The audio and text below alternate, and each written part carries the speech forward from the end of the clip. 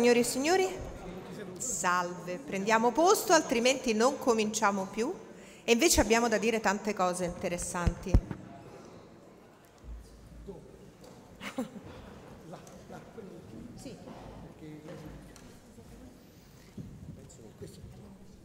Ok, allora buon pomeriggio innanzitutto. Questa è una grande occasione per noi perché abbiamo um, una persona che ha avuto l'idea brillante di mettere su carta quella che ormai rischia di diventare storia, non più cronaca, ma un processo che, ecco, magari mettiamo silenzi- il silenzioso ai nostri cellulari perché siamo tutti pieni di devices. E, um, l'avvocato Nicotera, quando ho avuto il piacere di incontrarlo e di parlare con lui di questo libro, ehm, io pensavo che fosse una cosa molto tecnica. Invece voi vi renderete conto che questa è una pagina di storia eh, che vi permetterà di vivere in un backstage e di vivere non solo le reazioni delle vittime, delle famiglie delle vittime, la parte più tremenda, ma anche di capire questo profilo che poi andremo ad analizzare di Eric Pribke. Io sono Cristiana Ruggeri e ho il difficilissimo compito di fare parlare tutti e bene perché sono loro ad introdurre questo pomeriggio. Allora, Fabrizio Santori, grazie, assessore al Comune di Roma. Vorrei dare subito la parola a lei e ringraziarla per questo importante avvenimento. Prego. Grazie Cristiana, grazie a te per eh, la tua presenza oggi che impreziosisce questo importante evento. Grazie a tutti voi per la partecipazione, benvenuti nella sala della Protomoteca, la sala più importante per gli eventi dell'amministrazione comunale all'interno di Palazzo Senatorio, quindi una prestigiosa sala che ospita eventi istituzionali di altissimo rilievo come quello di oggi e, e per questo dobbiamo ringraziare l'avvocato Pietro Nicotera per la proposta che ha fatto eh, non solo per l'opera, sicuramente per l'opera, perché lo sentirete appunto dagli altri anche autorevoli, prestigiosi intervenuti. Questo libro appunto ripercorre l'iter processuale che ha portato Eric Pribke, criminale nazista implicato nell'eccidio delle fosse ardeatine, dall'arresto in Argentina fino a una sentenza, quella del 1 agosto 1996. Eh, l'autore, appunto Pietro Nicotera, l'avvocato, eh, è un avvocato che nel corso della sua carriera ha affrontato processi delicati, alcuni dei quali noti, notissimi all'opinione pubblica e quindi per noi è un grandissimo onore ospitarlo qui in Campidoglio eh, per presentare questo testo che è davvero un documento storico, perché di questo stiamo parlando, già alcuni commenti, pur essendo uscito da poco, ci fanno capire eh, l'importanza di questo libro, assolutamente da leggere, da presentare in tutte le scuole, un processo storico con aneddoti unici e appassionanti. Questo è quello che ho avuto modo di leggere in, veramente in pochissimo tempo perché scorre in maniera importante, quindi eh, diciamo, invito tutti a, acquistarlo, a comprarlo e a leggerlo, ripeto, proprio per l'importanza del testo. È uno spaccato di storia, una storia al presente, un libro molto interessante. Ecco, questi sono tutti i commenti che eh, abbiamo eh, già raccolto tra tutte le persone e quindi per questo motivo abbiamo deciso di portarlo qui in Campidoglio con autorevoli e prestigiosi importanti eh, presenze come ad esempio eh, Pacifici, eh, lo ricordiamo nella sua eh, appunto presenza proprio durante quel periodo storico, ehm, abbiamo anche il delegato Regard della comunità appunto e lo ringraziamo per la presenza e tanti altri autorevoli, oltre all'onorevole Simona Baldassarre che ringrazio l'assessore regionale alla cultura della Regione Lazio, l'onorevole Palombi, eh, deputato eh, della, appunto, della, Repubblica Italiana. E... qui con noi, ma purtroppo... Sì, sì, prego, no, accomodati qua Alessandro. E, e, poi abbiamo eh, l'avvocato Sciullo della Camera Penale. E, Insomma, abbiamo una realtà importante che racconterà ed è vicina a questo testo che eh, appunto già amiamo tutti quanti. Quindi grazie e buona continuazione di serata in questa straordinaria evento.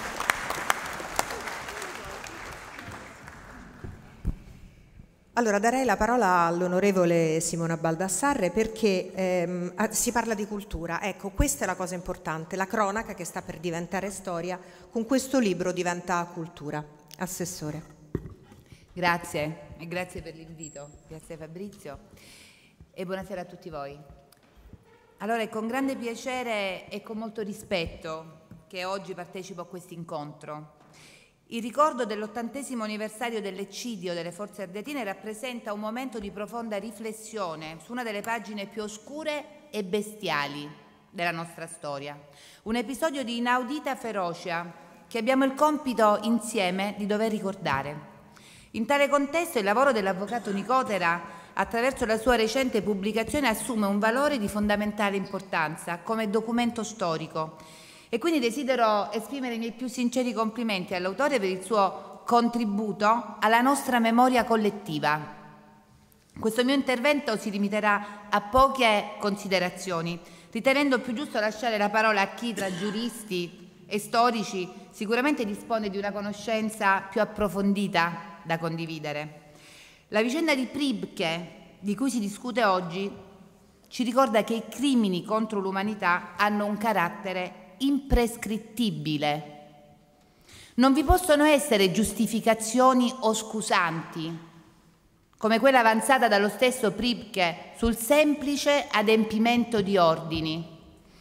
L'obbedienza a comandi immorali, infatti, non esonera dal giudizio della legge e della storia.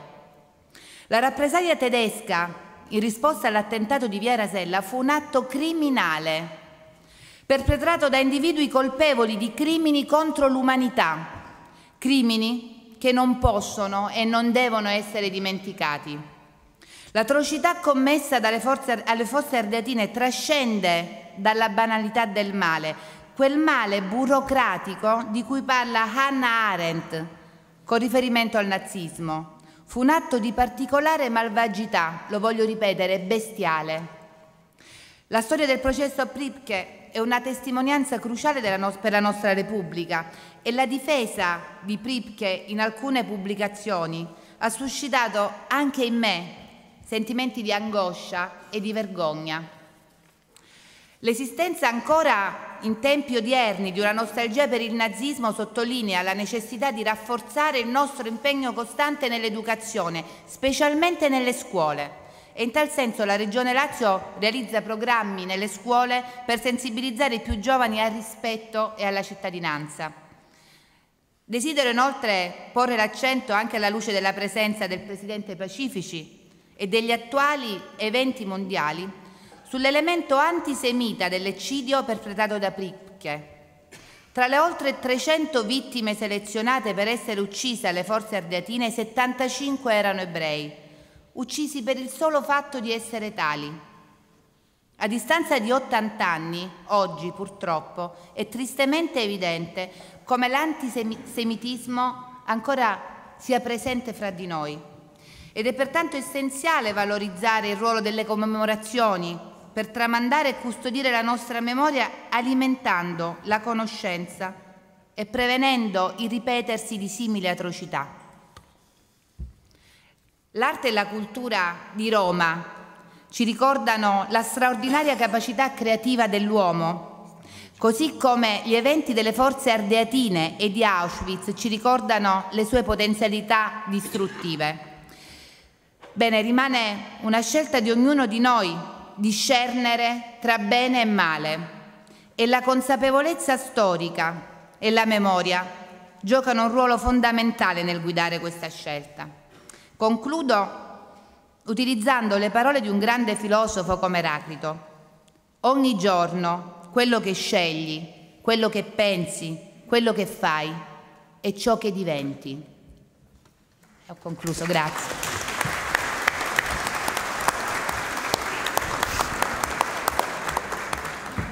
Grazie Assessore. Allora vorrei proseguire con quelli che sono i saluti istituzionali perché stiamo dicendo delle parole chiave qui e un'altra parola chiave è giustizia.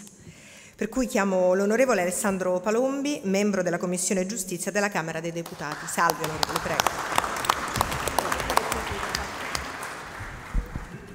Buonasera a tutti e devo confessare un po' d'emozione nell'intervenire in questa sala, soprattutto in questa sala così gremita.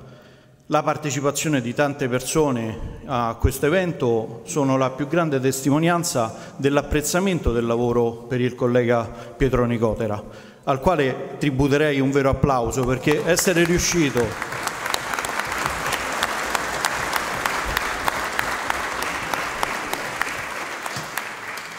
non solo ad avere il coraggio di scrivere un libro su un tema così delicato, ma anche a coinvolgere così tanti amici, così tante persone che lo apprezzano in una giornata come questa, di lunedì pomeriggio, una giornata lavorativa e anche difficile, eh, visto il, il, che Giove Pluvio non era dalla nostra parte, è una grande testimonianza di affetto e di stima nei confronti del collega. Io fa, mi limiterò a qualche breve considerazione, molto veloce.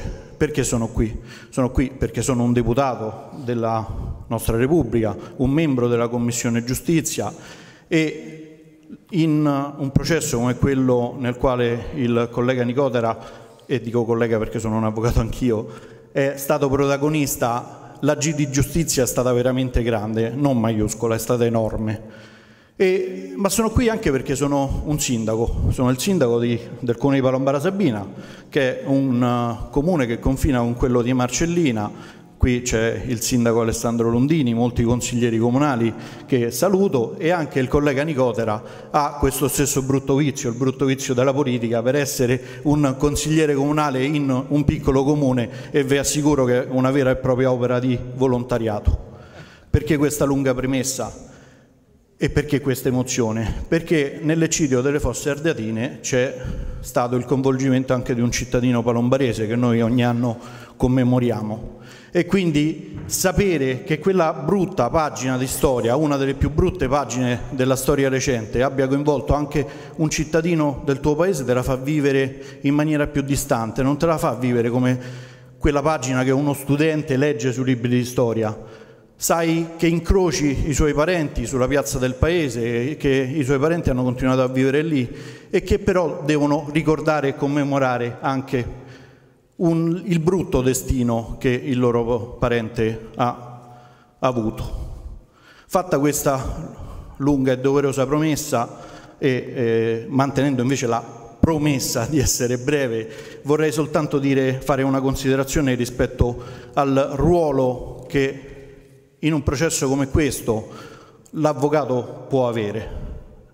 Beh, diciamo in Commissione Giustizia eh, spesso ci troviamo a pensare a quale deve essere la figura dell'avvocato, a come l'avvocato debba svolgere non solo quella funzione di assistenza al proprio cliente, ma svolge una vera e propria funzione pubblica. È uno dei soggetti che partecipa all'amministrazione della giustizia e, come vi dicevo prima, fare processi di questo tipo, fare processi che ci aiutano a riconciliarci con la storia, si concilia benissimo con questa funzione pubblica che l'avvocato deve avere. E allora la stima e il rispetto che per noi giovani avvocati, giovani una volta insomma, avvocati del foro di Burtino, l'esempio che il collega Nicotera è per tutti noi ne è una grande testimonianza. Quindi io non posso far altro che ringraziarlo per avermi invitato ad essere partecipe di un pomeriggio come questo e sperare che tanti giovani vedano in esempi come quello del collega Nicotera un modello per avvicinarsi al mondo dell'avvocatura. Grazie mille.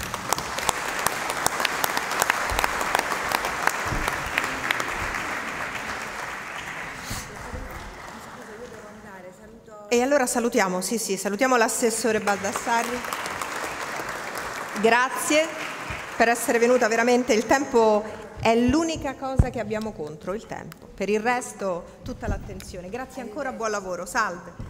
Adesso entriamo nel vivo. Um, l'avvocato Nicotera ehm, è stato, dire, molto coraggioso nel scrivere questo testo, ma soprattutto questo è un testo che va letto e va lasciato alle, alle giovani generazioni, perché è un testo che rispetta gli esseri umani, non è solo un testo di giurisprudenza. C'è una, un brano in cui, un, un piccolo paragrafo in cui l'avvocato dice ogni storia eh, andrebbe ricordata, ogni persona, ogni persona, erano delle persone semplicissime, ehm, eh, le vittime dell'eccidio delle fosse ardeatine. E lui dice, eh, io vi posso ricordare le persone che hanno incrociato il mio cammino. Ed entriamo nel vivo con questo, perché la cosa che mi ha molto colpito nel leggere questo libro, che vi invito veramente a farlo, a metterlo sul comodino, è stata la folgorazione, la folgorazione umana e processuale che lui ha avuto. Perché a volte capita di sfuggita di vedere, adesso siamo bombardati dalle, ehm, dalle notizie, io faccio televisione, voi tutti siete iper tecnologici, per cui le notizie adesso sono un continuo. Qualche anno fa, quando c'era una notizia, eh, beh, la notizia faceva davvero clamore, restava, questa eco era, aveva un'onda lunga. Quindi, avvocato, io entrerei nel vivo per raccontare quel preciso istante in cui lei ha, ha visto il servizio sulla ABC. Ha detto, ma non è possibile. E allora entriamo nel, vi- nel vivo di lei umano, essere umano che rimane sdegnato, e l'avvocato che decide, io voglio esserci, questa cosa me la porto a casa. Prego. Grazie, grazie Cristiano. Entriamo, entriamo proprio a gamba tesa. Avevo in programma di fare un preambolo, un ringraziamento. Vabbè, comunque lo faccio. Perché... È acceso? Ah, si sente? Sì. Innanzitutto io non posso che ringraziare tutti coloro che ci hanno consentito oggi di essere qui, in primis il sindaco che non ha, non ha potuto partecipare e ci ha mandato questa mattina una comunicazione che per impegni istituzionali non può essere presente, ma comunque invia il suo saluto.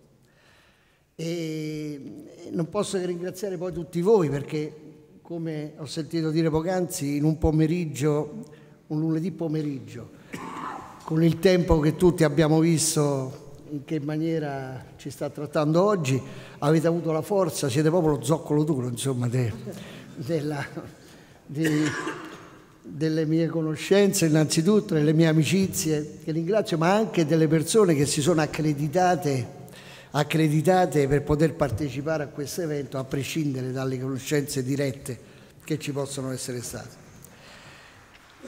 E, ehm, quindi entriamo proprio nel merito, nel vivo di, questo, di quello che è stato un evento che rimarrà nella memoria collettiva per sempre, parlo dell'eccidio delle fosse ardatine. E quando io ho deciso di scrivere questo libro, ho deciso di farlo non certo con la pretesa di, di, di scrivere un'opera d'arte o, o, un romanzo o qualcosa, ma di lasciare un documento, nel vero senso della parola, perché in questi 29 anni, sono passati quanti Riccardo da quella notte che siamo stati sequestrati? 96. 96. Ci avete sequestrato, ma eh, con piacere però perché poi eh, si, è, si, è, ottenuto il risultato da quel sequestro. Riccardo Pacifici, lo dico subito, era lì quella notte insieme a Walter Veceglio, giornalista del TG2, caporedattore del TG2 fino a un paio di anni fa, adesso si sta riposando un po', vero? Con la televisione, però continua a lavorare, a scrivere. E quindi noi tre siamo proprio la memoria vivente di quella notte. E, e dicevo, quando ho deciso di, di scrivere questo libro, l'ho fatto proprio perché avevo il timore che tanti ricordi potessero svanire, perché chi, avrà, chi, l'ha letto lo avrà visto, ma chi lo dovrà ancora leggere se ne renderà conto. Si tratta di piccoli capitoli e piccoli paragrafi che trattano dal primo momento, quello chiamato in causa poc'anzi dalla, dall'amica Cristiana Ruggeri, fino alla conclusione e all'epilogo di tutta la vicenda, sia processuale che umana, del personaggio eh, di cui stiamo trattando, cioè Erich Priebig, il nazista. Diceva Cristiana la folgorazione, è vero perché quel maggio del 94, era il 3 o il 4 maggio del 94 se non ricordo male, stavo guardando la televisione, sono quei momenti che non si possono dimenticare, stavo guardando la televisione e andò in onda un servizio in un TG, adesso non ricordo quale, dove eh, venne mandata in onda un'intervista rilasciata eh, ad una televisione americana eh, ad un lo presentarono come un nazista che si trovava in Argentina da sempre, cioè da, da subito dopo la fine della seconda guerra mondiale.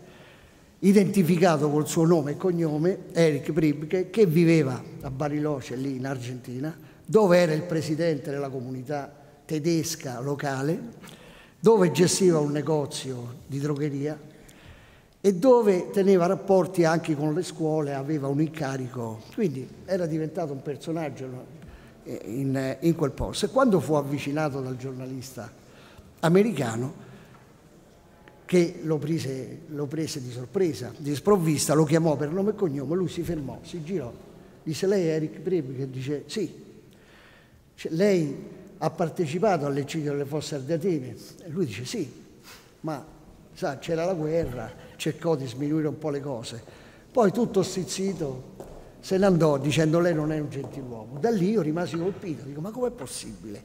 Dico che questo personaggio che è rimasto a vivere allo scoperto in un paese, l'Argentina, che non è l'ultimo dei paesi, insomma, senza che nessuno se ne rendesse conto, senza che nessuno eh, potesse prendere un provvedimento. Tant'è che questa sensazione che ho provato io la provò anche il procuratore militare in Telisano, che io avevo invitato, ma sta in Francia, perché ha un figlio che vive lì, lui sta in pensione e avrebbe avuto molto piacere di partecipare, ma ha detto che purtroppo è impedito. Sarebbe stato interessantissimo ascoltarlo perché lui è quello che ha portato avanti più vicino sì, il microfono. Se mi dilungo dimmelo, perché magari po- posso diventare io. noioso e non voglio. Allora, eh. Quindi eh, stavo dicendo, rimasi colpito da questo e casualmente, casualmente entrai in contatto, ma nel giro di pochi giorni, eh, con la figlia di uno delle vittime dell'eccidio, Cesare del Monte, cittadino italiano di religione ebraica, anche lui trucidato in, quella, eh, in questo tristemente noto eccidio. E parlando con lei dissi, ma hai sentito? Sapevo che aveva il papà, lei aveva un anno e mezzo quando il padre fu ucciso, che aveva il papà che eh, purtroppo aveva fatto parte di quel gruppo di persone che vennero uccise.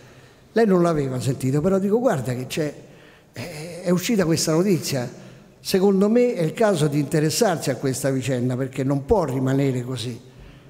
E da quel momento la folgorazione non è stata una semplice folgorazione, ma è stato un concatenarsi di eventi, di vicende rocambolesche. Nel libro eh, si parla di questo, cominciando addirittura dall'estradizione, perché l'estradizione fu uno dei nodi principali delle, di questa vicenda, perché eh, inizialmente l'estradizione non venne concessa e non poteva essere concessa perché il diritto interno argentino prevede per il reato di omicidio, così come era contestato a Pribica qui in Italia, per il quale, stavo dicendo, il procuratore Intelisano fece una ricerca e vide che era latitante dal 45 addirittura, e quindi fece rivivere quel mandato di cattura e attraverso il Ministero della Giustizia Pribi che venne posto agli arresti domiciliari l'8 o il 9 maggio, quindi dopo una settimana, a casa sua in Argentina. Era maggio 94, arrivò in Italia a novembre del 95, quindi perché ci fu tutto l'iter dell'estradizione che inizialmente venne negata e, e quando venne negata l'estradizione dal Tribunale argentino con questa motivazione che giuridicamente parlando era corretta perché per poter estradare da un paese all'altro un cittadino di un paese straniero in quel momento il reato deve essere punibile sia per quel paese sia per il paese che lo, che lo richiede. Siccome per, la, per l'Argentina il reato era prescritto non ce lo potevano estradare. Allora io che feci? Non è che voglio prendermi i meriti di qualcosa, è una cosa che pensai di fare e me la sentivo di fare perché Abbiamo sentito l'assessore parlare di, di crimine contro l'umanità. E io questo argomentai perché feci il ragionamento che se rimanevamo fermi nel trattare il fatto contestato a Pribic come un semplice, semplice, non è cosa di poco conto, un omicidio continuato di 335 persone, così come era contestato, non potevamo andare oltre, non saremmo arrivati a processarlo, non potevamo eh, ottenere la giustizia che poi lo Stato italiano ha ottenuto. E allora feci io una denuncia in maniera provocatoria, ben sapendo che, eh, che in Italia il reato di genocidio era stato introdotto dopo, nel 69, quindi non si può essere processati, le dico in maniera molto semplice per un reato eh, che nel momento in cui è stato commesso un fatto non era previsto. Però feci questa denuncia per genocidio e chiesi alla Corte Penale Internazionale di Giustizia, all'ONU, di istituire una Corte Penale Internazionale di Giustizia che rimase lettera morta. Questo però fece un po' di clamore a livello mediatico, anche a livello internazionale. Tant'è che la Corte di Cassazione argentina a cui lo Stato italiano poi si era rivolto per impugnare quella decisione che aveva negato l'estradizione di Pripke, fece questo ragionamento. Dice, noi non possiamo estradarlo perché il eh, reato di omicidio è prescritto, però siccome tra le 335 vittime vi erano 75 persone di religione ebraica, siccome vennero uccisi e trucidati solo perché di religione ebraica, questo configura un reato, un crimine contro l'umanità. E come crimine contro l'umanità è imprescrittibile per il diritto delle genti e può essere processato in, paese, in qualsiasi paese del mondo e ce lo mandarono. Quindi questo fu mm, un obiettivo, eh, l'obiettivo principale da raggiungere che abbiamo ottenuto per poterlo fare stradare e poi processare. Poi lasciamo stare tutto quello che è successo se avrete la pazienza di leggere il libro lo potete vedere meglio perché sennò staremo qui fino a domani mattina e non è possibile questo. Però questo fu il primo, il primo risultato. E devo dire che mh, il secondo passaggio che riguarda poi... Scusate ma...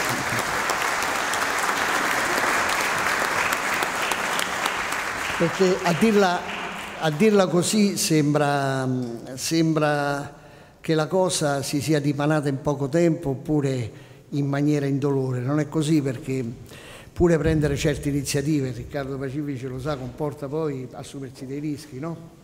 Perché lettere di minaccia, siccome queste iniziative venivano anche, anche pompate a livello mediatico, e quindi eh, diciamo che c'è stata un po' di tensione pure in quel periodo anche in famiglia.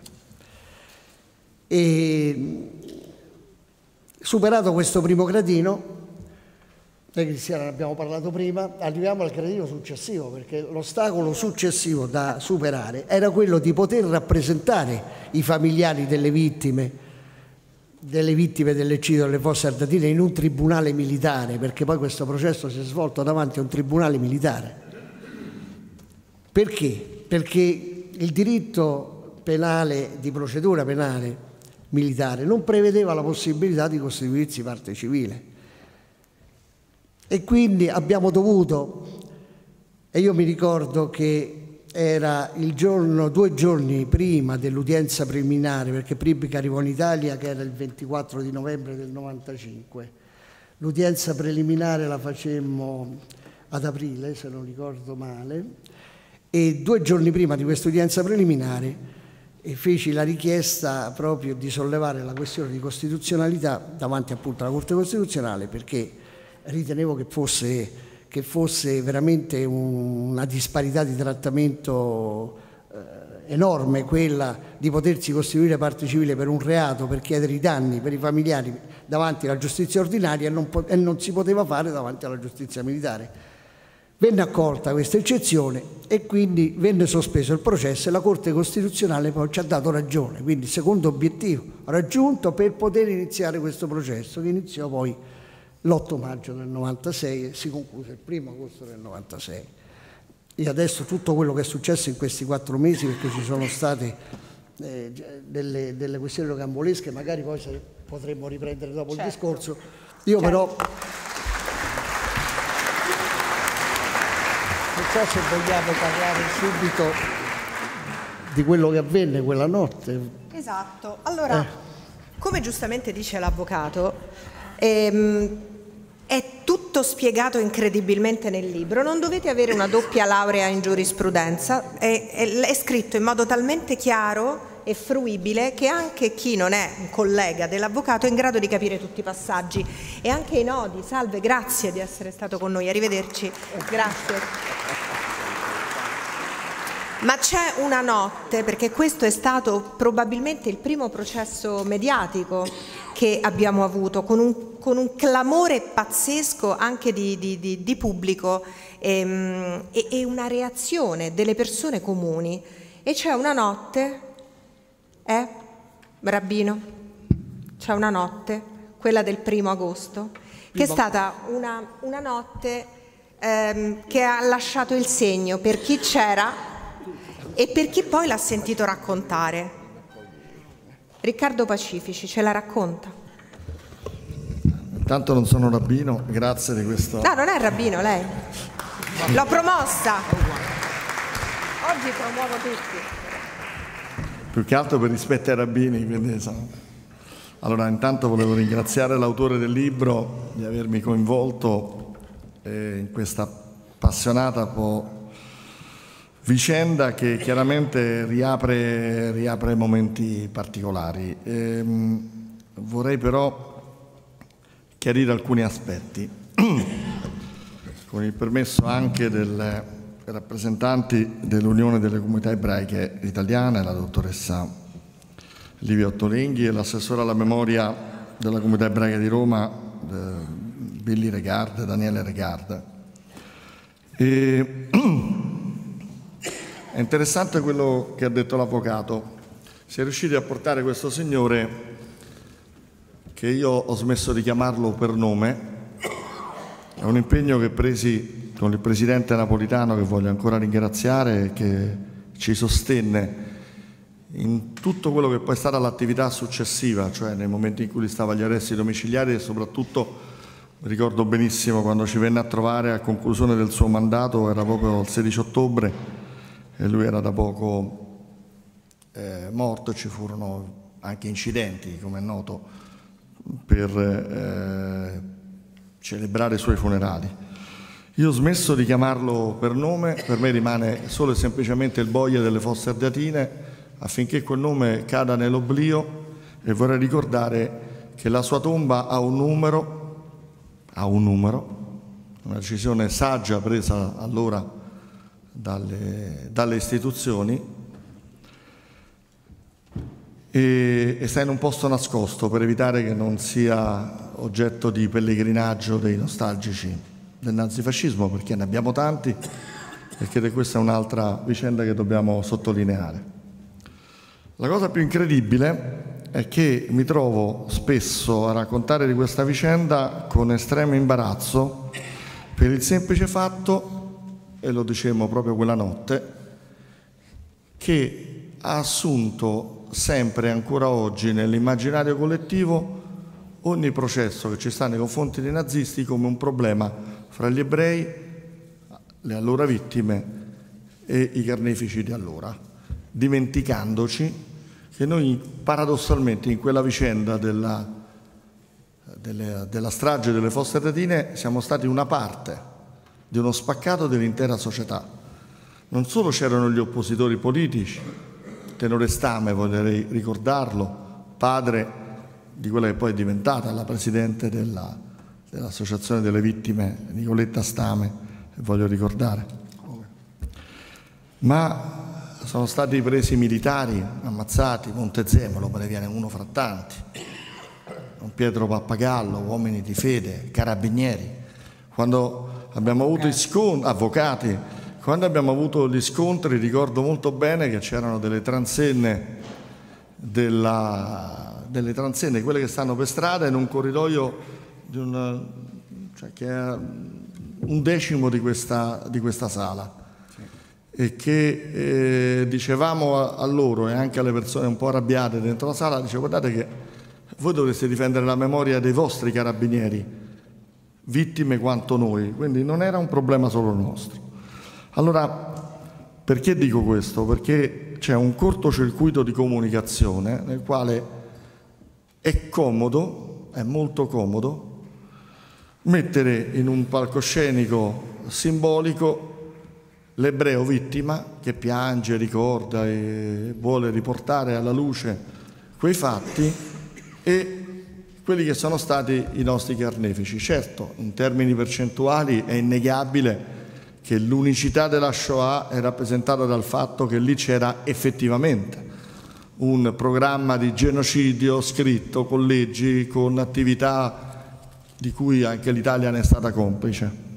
Ma l'imbarazzo per me nasce dal fatto che nel momento in cui noi facciamo esercizio di memoria, andiamo ancora oggi nelle scuole, viene ancora relegato come poverini loro e io dico sempre poverini voi.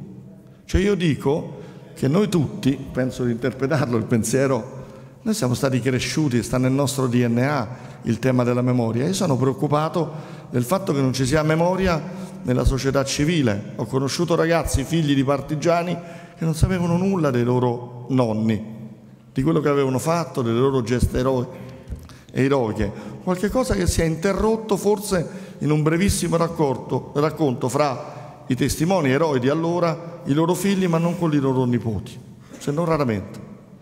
Allora io credo che noi avremo la necessità di farlo per un motivo molto semplice, e qui entro in un aspetto politico molto pesante e anche imbarazzante. È singolare che si ottiene per la prima volta l'estradizione di un criminale nazista nel primo governo di centrodestra in Italia nel 1994 dall'allora ministro di Grazia e Giustizia Biondi, che voglio ricordare. Fu un atto eroico.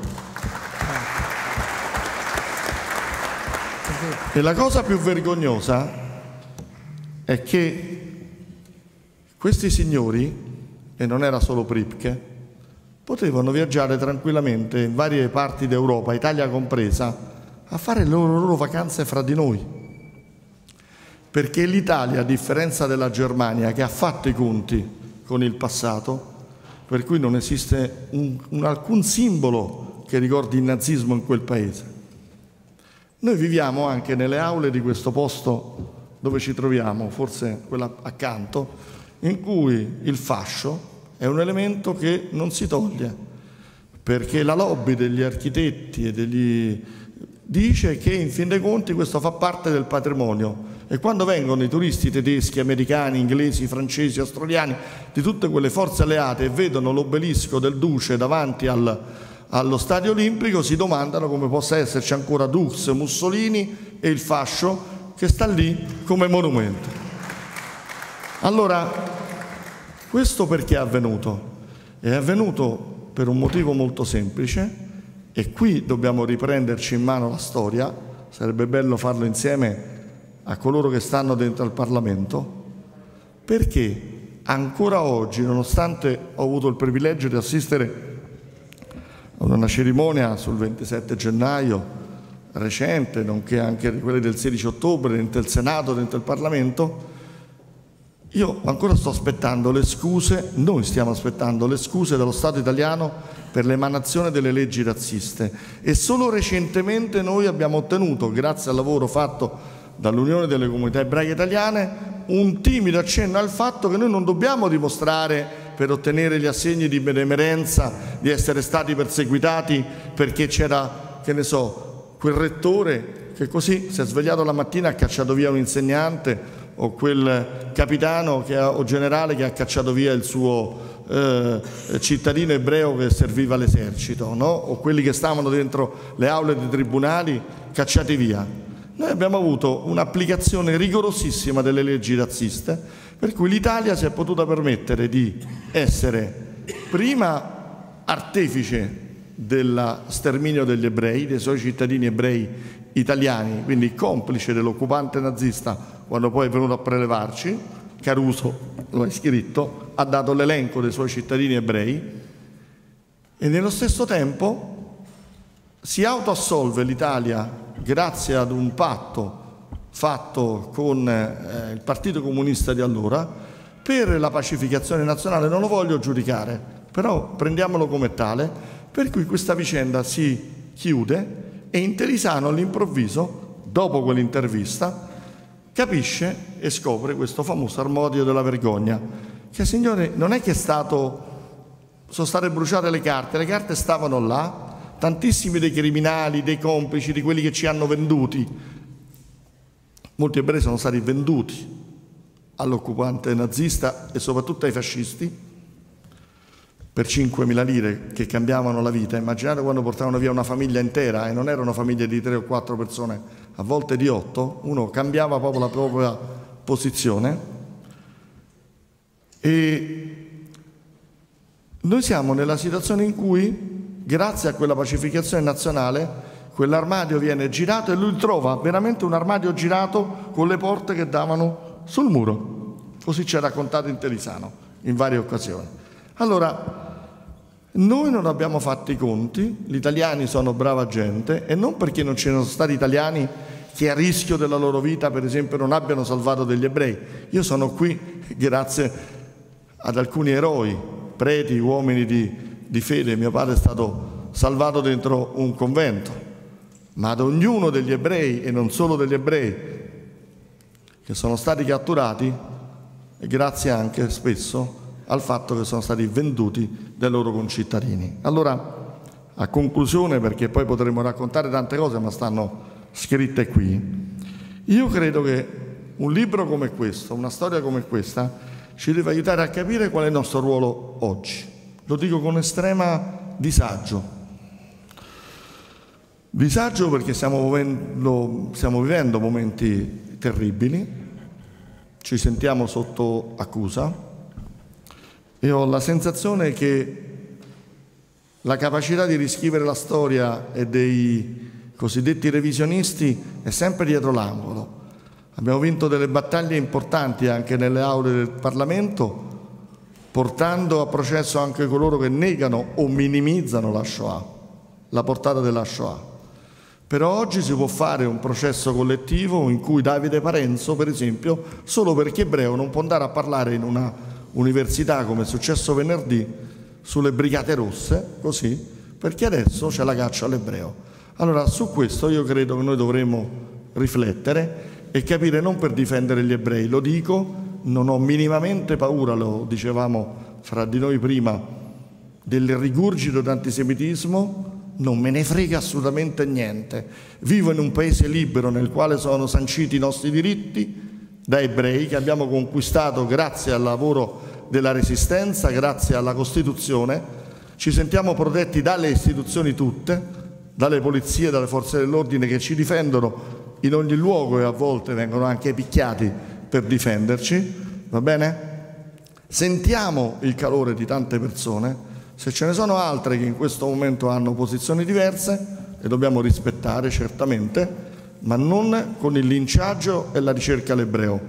Questo sappiamo che non succederà più proprio perché sappiamo che c'è un'Italia diversa, più consapevole e forse insieme potremo fare un lavoro per chiedere che l'Italia non venga assolta dalle sue responsabilità, per aiutarla a uscire da quelle responsabilità, esattamente come ha fatto, e lo dico, lo prendo come esempio, la Germania, giuro concludo, quando, e voglio ricordare questo episodio che sembra quasi comico, raccontato una sera insieme a Walter Veltroni da Vicky Hassan, un genio della moda, quello che ha inventato i jeans di Energy. Lui con un noto marchio di sua proprietà, Miss 60, aveva per errore fatto un logo del Miss, cioè della Miss, le SS assomigliavano molto come logo, lui si era ispirato ai Led Zeppelin, invece eh, era stato interpretato dall'opinione pubblica tedesca come le SS dei nazisti. Fecero sequestrare tutta la merce di un'intera stagione in Germania e al momento del sequestro della merce il suo avvocato ha detto guarda noi possiamo fare ricorso, stai perdendo milioni e milioni di euro. Lui disse no, facciamo bruciare questa merce va bene così. Poi tornò a casa preoccupato dicendo ho perso tanti soldi in Germania, se dovessero fare la stessa causa che hanno fatto i cittadini tedeschi, non le istituzioni, in tutta Europa io fallirò. Lui è andato avanti perché nessuno, neanche in Italia, ha fatto quello che hanno fatto i cittadini tedeschi. Quindi noi paradossalmente oggi ai nostri carnefici di allora, ma ai ragazzi delle nuove generazioni, gli dobbiamo dire grazie perché c'è un paese che ha fatto i conti col proprio passato. Grazie.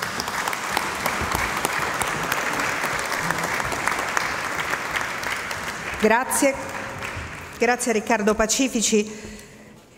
Adesso darei la parola alla professoressa Ottolenghi, all'assessore all'istruzione dell'Unione delle Comunità Ebraiche Italiane. Professoressa, cosa pensa lei di questo, di questo testo? Qual è l'importanza anche culturale di un testo come questo?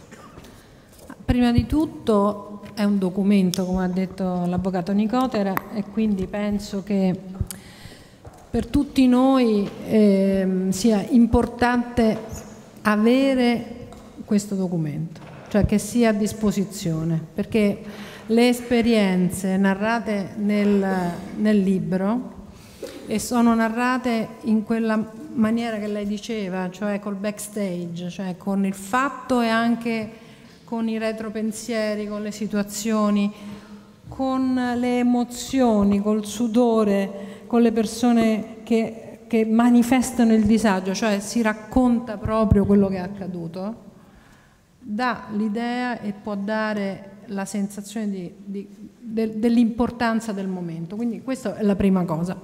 Volevo però sottolineare quello che diceva Pacifici poc'anzi, cioè che questa storia, l'eccidio delle fosse ardeatine, è una storia italiana, una storia romana, è anche ebraica ovviamente perché gli ebrei che sono stati coinvolti e uccisi eh, in quelle cave eh, evidentemente fanno parte del nostro dolore, gli ebrei romani, ma eh, c'è tutto c'è tutta l'Italia lì dentro e quindi questo è importante perché spesso io sento e ho sentito spessissimo persone che consideravano l'eccidio delle fosse ardeatine come un fatto esclusivamente ebraico. Beh, chiaramente sono persone poco informate, però evidentemente la scarsa informazione esiste anche su queste cose che dovrebbero far parte del DNA, della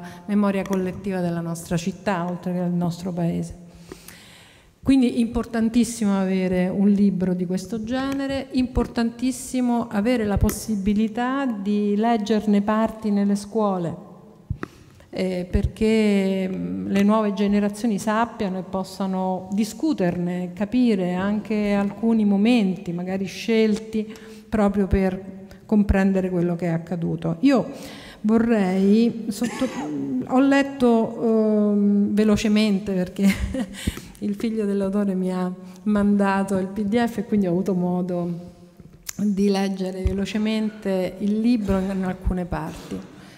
Mi hanno colpito due cose che volevo sottolineare. All'inizio c'è proprio tutta la parte della, della scansione temporale di questa storia, poi c'è una parte che racconta di, di, di quali sono state le, le, storie degli altri nazisti che sono stati coinvolti in tutta questa storia e tutti eh, sono morti nel loro letto.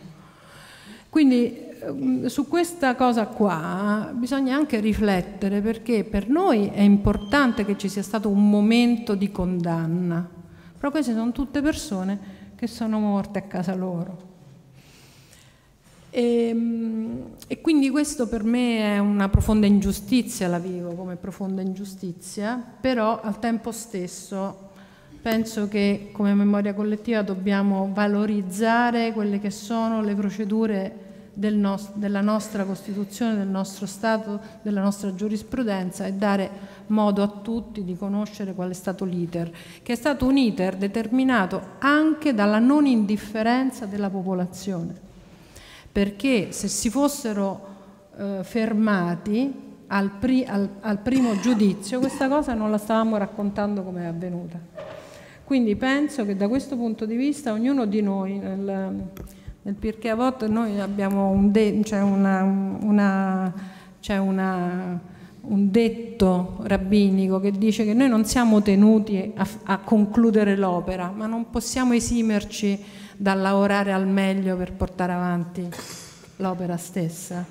Per cui quando è successa la prima parte, cioè la, la, prima, la prima sentenza, se si fossero fermati tutti, eh, nessuno avrebbe detto niente probabilmente, ma non staremmo qui a parlare. E invece no, invece c'è stata gente che ha avuto il coraggio di alzare la testa, di parlare. Li ringrazio tutti perché oggi abbiamo la possibilità di avere una memoria corretta, con un racconto corretto di quello che è avvenuto. E, ehm, e poi mh, vorrei anche sottolineare un'altra cosa, sempre nelle prefazioni si legge appunto che ci sono stati diversi tipi di condanne. C'è stata la condanna per l'eccidio e poi c'è stata la condanna per il furto a Kappler. Per cui io vorrei sottolinearvi anche a, a tutti voi questa cosa. Noi abbiamo chiara eh, la storia degli eccidi nazisti, degli eccidi nazifascisti, sappiamo che questa gente che era militare, che si sono trovati a perpetrare delle stragi, a perpetrare del, degli eccidi da militari. Però io vorrei sottolineare che sono stati dei grandi ladri, perché hanno rubato tutto quello che potevano rubare. Hanno rubato le vite evidentemente, ma hanno rubato anche l'oro, hanno rubato l'arte, hanno rubato eh, le cose preziose di tutti i popoli su cui po- pensavano di poter agire. Non soltanto gli ebrei, tutti. So, cioè, sappiamo tutti la, la, la questione dell'arte rubata durante i nazisti. Per cui non c'è dignità in quello che hanno fatto e io questo, questo, volevo sottolinearlo perché altrimenti si pensa sempre che ci sia dignità anche nel, dalla parte del cattivo, invece lì no, ci sono state proprio delle situazioni di, di mancato riconoscimento dell'umanità degli altri, della dignità degli altri, del rispetto eh, degli altri popoli. Per cui questo è estremamente importante, penso che sia un punto, io ringrazio l'avvocato Nicotera perché lui ha detto sono l'autore o presunto tale prima presentandosi e invece io penso che sia importantissimo avere questi documenti per la memoria collettiva e per la memoria sulle nuove generazioni, che oggi è ancora più importante perché via via che passano gli anni è sempre più importante avere documenti a nostra disposizione e a disposizione dei nostri figli. Grazie. Grazie a lei, professoressa. E prima di affrontare quello che è stato il racconto di un cronista di allora, e prima di dare la parola a Walter Vecellio, vorrei restare sul filo della cronaca che diventa storia e, e, e l'importanza della memoria. Memoria e ditemi, e ditemi, voi e soprattutto lei, Daniele Regar, l'assessore alla memoria della comunità ebraica di Roma, spesso questa parola, la parola memoria viene sottovalutata, no? La parola memoria ha di per sé un'importanza fondamentale e trasversale. Sì, grazie, buonasera a tutti. Intanto io porto i saluti della comunità ebraica di Roma e la parola memoria non può essere, non può rappresentare solamente appunto una parola, ma la memoria deve essere uno strumento, uno strumento che noi abbiamo ovviamente in tante occasioni ribadito, l'abbiamo fatto il 16 ottobre, lo facciamo il 27 gennaio, lo facciamo sempre quando andiamo a parlare di questi temi, uno strumento, uno strumento appunto di conoscenza contro l'ignoranza, contro il pregiudizio e di questo che noi stiamo parlando. E io credo che questo testo rappresenti qualcosa di molto importante, nel senso che io nel 1996 avevo 10 anni, quindi ovviamente questo può essere una parte importante per ricostruire la storia di quelle ore di quei momenti. E io l'ho fatto ovviamente attraverso i racconti, i racconti di, di Riccardo, penso a mia madre che ha visto da vicino questo processo e penso anche a mia zia, Maria Teresa Regard, che probabilmente l'avvocato, l'avvocato Nicotera conosce. Maria Teresa Regard era una gappista, una partigiana, che testimoniò al, al processo e ovviamente eh, lei, fece, lei, fece, emergere eh, l'efferratezza, la crudeltà di Prigbe e ovviamente rimase, eh, raccontò via Tasso, raccontò ovviamente tutto quello che eh, è stato fatto in quei, in quei, giorni e ovviamente lei rimase molto male per, come, per l'esito del, del, primo processo. E, e, legandomi a quello che diceva adesso la, la dottoressa Ottolenghi, è, è, quello che è successo dopo, cioè il racconto di quello che è successo dopo, di, io lo dico, questo concetto lo, lo ribadisco spesso, ovvero quello della scelta. C'è chi fece una scelta, c'è chi fece la scelta di testimoniare e, e oggi il, l'avvocato Nicotera ha fatto la scelta di raccontarci quello che è successo ed è un lascito ovviamente molto importante. C'è anche Prib che fece una scelta, fece una scelta di, eh, di crudeltà eh, e questo ovviamente deve essere ricordato. Noi possiamo ricordare la parte buona, la parte ovviamente negativa della storia, ma tutto deve essere sicuramente raccontato. E oggi abbiamo un compito, un, un compito molto importante, come dicevamo all'inizio, ovvero attualizzare il concetto di memoria, perché la memoria non può essere una cerimonia, non può essere solamente una ricorrenza Dobbiamo utilizzare la memoria per raccontare e far capire l'attualità anche ai giovani. Quindi la scelta che oggi devono fare i giovani è quello di approfondire, di non fermarsi a un articolo di un giornale, ma di andare a fondo, di saper usare le parole giuste, le parole corrette, perché altrimenti torniamo in quella mistificazione della storia che ci ha portato ai momenti più bui di, de, dello scorso secolo. Quindi eh, bene, bene, che si facciano eh, cose come questa perché sono per noi un, veramente un lascito fondamentale. Grazie. Scusa, Grazie Cristiana. a lei. Cristiana, scusami, prima, Eccomi. prima di far parlare Walter Vecelli volevo sì. fare un piccolo preambolo perché con Walter Vecele abbiamo avuto anche un siparietto, non so se lui lo ricorda, quando ci fu la prima udienza dibattimentale del processo, del primo processo, quello di, di cui poi si parla nel libro, che io il giorno precedente, il giorno precedente a questa data ricevetti una lettera con una, una busta gialla originale con su scritto Corte Suprema di Cassazione io ho aperto questa lettera e c'era un dispositivo di sentenza eh, dove praticamente si diceva che, dove, doveva, che prima che doveva essere assolto perché aveva compiuto un gesto, insomma, ma io la misi nella busta, la, la tenni lì. Poi arrivai al tribunale militare che chiaramente eh, era difficile accedere perché già eh, aveva una location un po' eh, antipatica e difficile da raggiungere e, come tutte le altre udienze perché ha seguito il processo dall'inizio alla fine e ne ha subito le conseguenze, se ce lo vorrà dire, fino a poco tempo fa, anche insieme a Riccardo, le conseguenze, insomma, le, eh, gli effetti collaterali anche se antipatici, no? quelli de, del pagamento delle spese di giustizia, mi riferisco. Hanno chiesto i soldi per il sequestro. Eh, sequestro di persona, sì. E quindi, mentre si parlava prima dell'inizio dell'udienza, ho mostrato questa lettera a Walter e dico, ma sai, ricevuto questa cosa, non danno importanza, lui so da, da, ottimo giornalista e cronista in quel caso, no? dice fammela vedere, ha chiamato l'operatore con la telecamera, ha inquadrato la lettera, ha inquadrato la cartellina dove c'era scritto studio legale di Codera e alle ore 13 l'ha mandato no, in diretta televisiva al TG2, all'epoca non c'erano i telefonini, mi ricordo che però c'era mia moglie a casa che non sapeva quello che, che fosse successo e stava guardando il telegiornale e si spaventò pure. Poi dopo ci siamo sentiti nel pomeriggio perché le udienze vennero, vennero praticamente calendarizzate, c'era un'udienza al giorno per quattro mesi, quindi perché il processo doveva finire in quattro mesi. Così aveva stabilito il Presidente del Tribunale Militare Quistelli, così aveva deciso perché voleva mettere una pietra sopra a questa, a questa vicenda la mise e sceglie il primo agosto del 96 alle ore 18, data molto significativa, giornata incandescente sia per il caldo che faceva, sia per quello che è successo dopo. E quello che posso dire è che voi eravate fuori perché vi è stato impedito di entrare. allora, scusate ragazzi.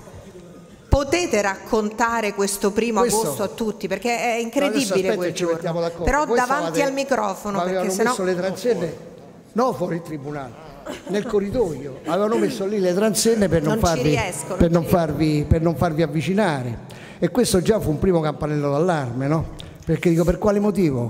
Eh, i familiari delle vittime o chi è interessato al processo? Neanche il giudice non si poteva entrare, quindi già avevano dato l'allerta no? i magistrati dicendo qui potrà succedere un qualcosa. E noi invece che stavamo nell'aula, perché era stata riservata a pochi, agli avvocati, a Pribche, l'aula era un'aula di 10 metri per 5, quindi un'auletta.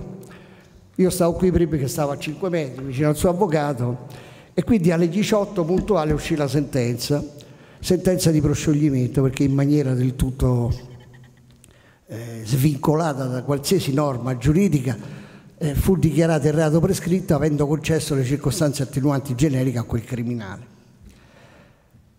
Cosa che poi fu ribaltata nei gradi successivi, ma non è questo il punto. Pribbi che in un primo momento non capì quello che fosse successo e guardò l'avvocato Direzze, che era il suo difensore. Eh, Direzze si avvicinò con l'aiuto dell'interprete, anche se Pribbi che parlava benissimo italiano perché lui venne, fu mandato qui in Italia come vice di Kappler perché era un interprete di lingua italiana. Quando ha capito che era libero, fece un ghigno e si cominciò a guardare intorno come per dire io so, perché me l'ha detto Direzze, che già era pronta una macchina per portarlo in Francia e poi da lì prendere l'aereo per andarsene in Argentina.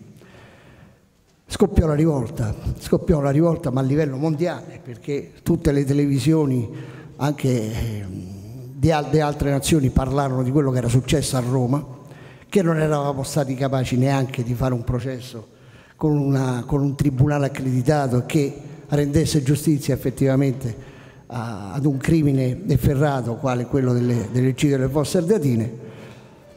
E Riccardo non l'ha raccontato prima, ma è scritto nel libro alla fine perché c'è tutta una sua. Ho voluto come osservazione riportare una sua dichiarazione dove racconta con il cuore quello che è successo quella notte. E, e ho visto l'espressione di Pribbi che cambiare di ora in ora perché a- alle 6, alle 18 c'è stata la sentenza, alle 20 non si sapeva che cosa dovesse succedere. Il tribunale e il presidente Quistelli erano sequestrati nella loro stanzetta perché non potevano uscire perché quella stanza della Camera di Consiglio non aveva altre vie d'uscita se non passare per quel corridoio dove c'erano loro che col passare delle ore erano sempre più carichi e sempre più accesi. E quindi alle 8 Prib che l'ho visto un po' sconsolato perché non capiva più cosa stesse succedendo, ma neanche noi lo sapevamo. Fino a che a mezzanotte, arrivò mezzanotte, venne Rutelli, che era sindaco di Roma, fece spengere le luci del Colosseo, dei monumenti, in segno di protesta, quindi una protesta unanime.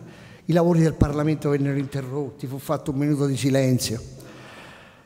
A mezzanotte cominciò a girare la voce che veniva il ministro Flick, il ministro della giustizia, una cosa che non è mai avvenuta, penso non avverrà più nella storia, eh, nella storia giudiziaria e anche della Repubblica, che un ministro si rechi in un'aula di tribunale dopo che un imputato è stato assolto o prosciolto, che dir si voglia, e emette un ordine di cattura, cosa che per il nostro codice di procedura penale è previsto in un solo caso, quando viene chiesta l'estradizione per l'estero e quindi attraverso la Digos viene attivata un- una procedura particolare che consente al ministro di fare questo.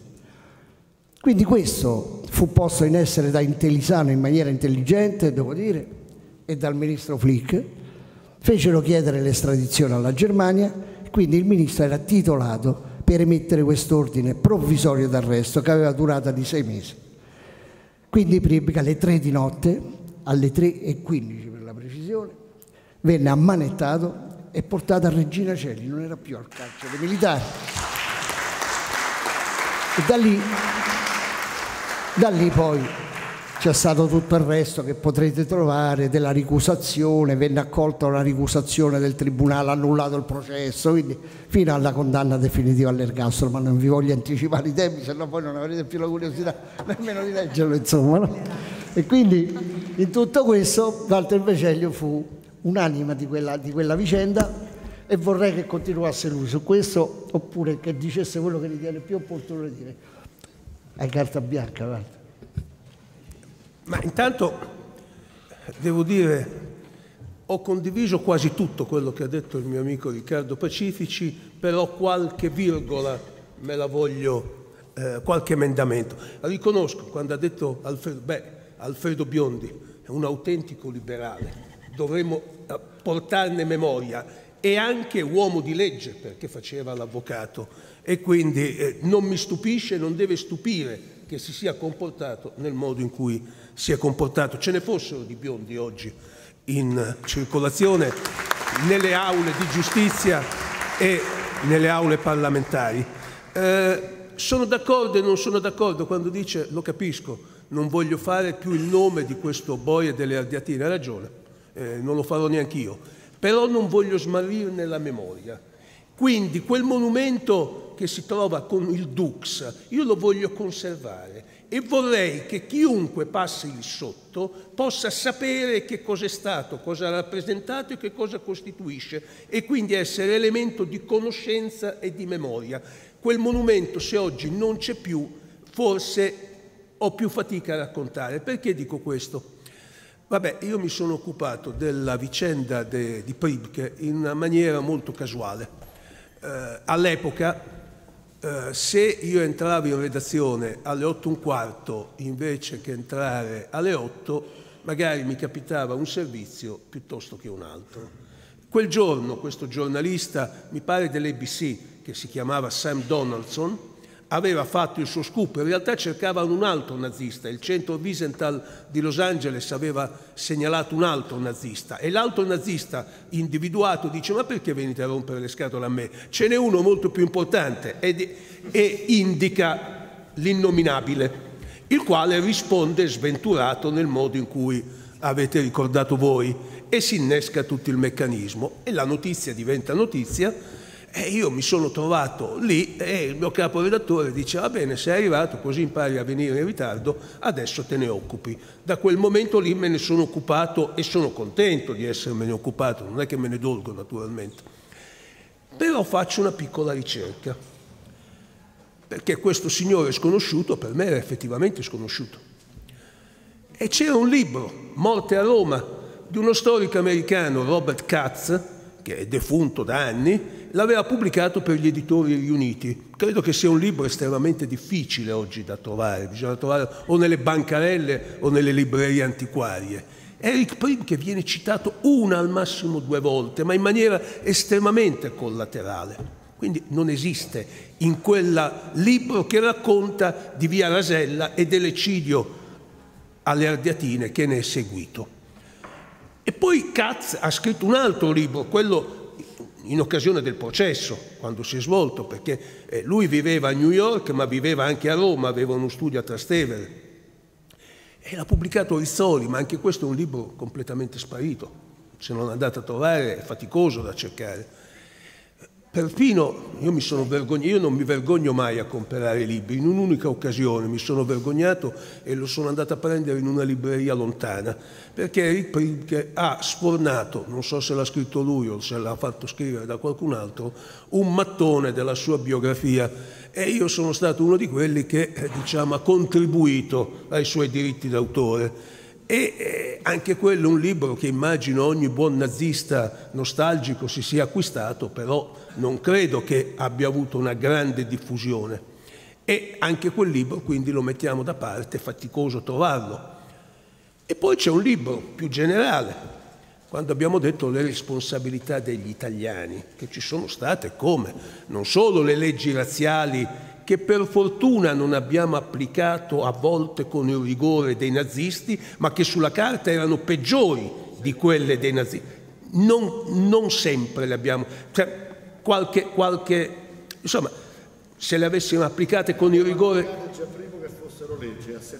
Sì, però ripeto, per esempio ci siamo inventati il fatto che per legge io sono ebreo se mia madre è ebrea, però i fascisti cioè i fascisti dicono no che c'entra la madre, il padre che conta, eh ma vabbè ma anche il padre è ebreo, sì però tua madre ha fatto le corna, tuo padre tu sei figlio di, di, di quello che ha fatto le corna e quindi ti trovavano la scappatoia, erano tutti a livello basso, ho detto quelle leggi erano tremende, peggiori delle leggi naziste, l'unica attenuante è che le abbiamo applicate non con il loro rigore tedesco, l'abbiamo applicata un po' meno all'inizio. Poi dopo i frutti malevoli ci sono stati ugualmente, non è che voglio attenuare niente, figuriamoci. Però un libro di una storica americana, italo-americana, Susan Zuccotti, che si chiama L'Olocausto in Italia, racconta per filo e per segno tutte le complicità dei repubblichini con i nazisti. Eh, I treni erano tedeschi, si andava nei campi di concentramento nazisti, ma quei, quei quei carri venivano chiusi dagli italiani, le denunce venivano dagli italiani, quindi abbiamo un fardello di responsabilità di cui non voglio attenuare nulla, ma anche quel libro che racconta nel dettaglio, andatelo a cercare, è stato pubblicato da Mondadori, mai più ripubblicato. Quindi c'è un dovere di ricordare e di rammemorare, per questo questo libro è importante, perché ci riporta a memoria e ci documenta tutta una serie di cose che è faticoso recuperare, trovare. Io ho assistito con, con dolore, con fastidio, con sgomento, non so che termine usare.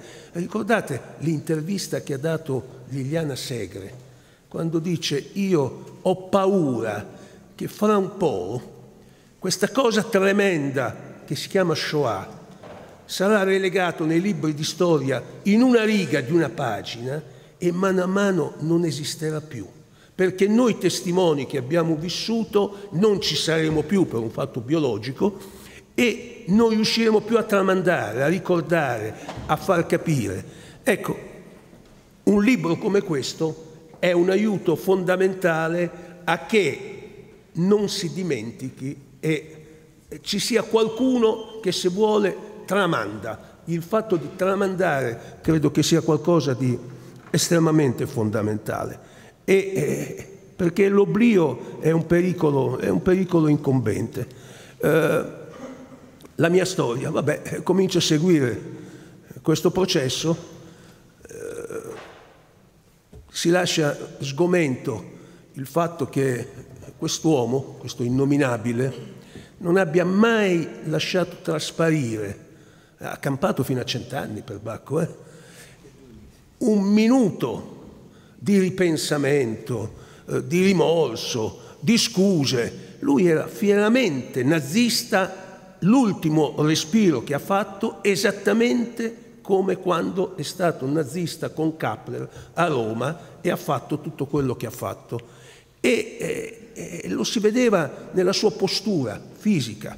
Adesso io non voglio scadere in eh, cose lombrosiane, però proprio la sua postura era veramente freddo, cinico, arrogante, eh, tutto che eh, congiurava contro di lui.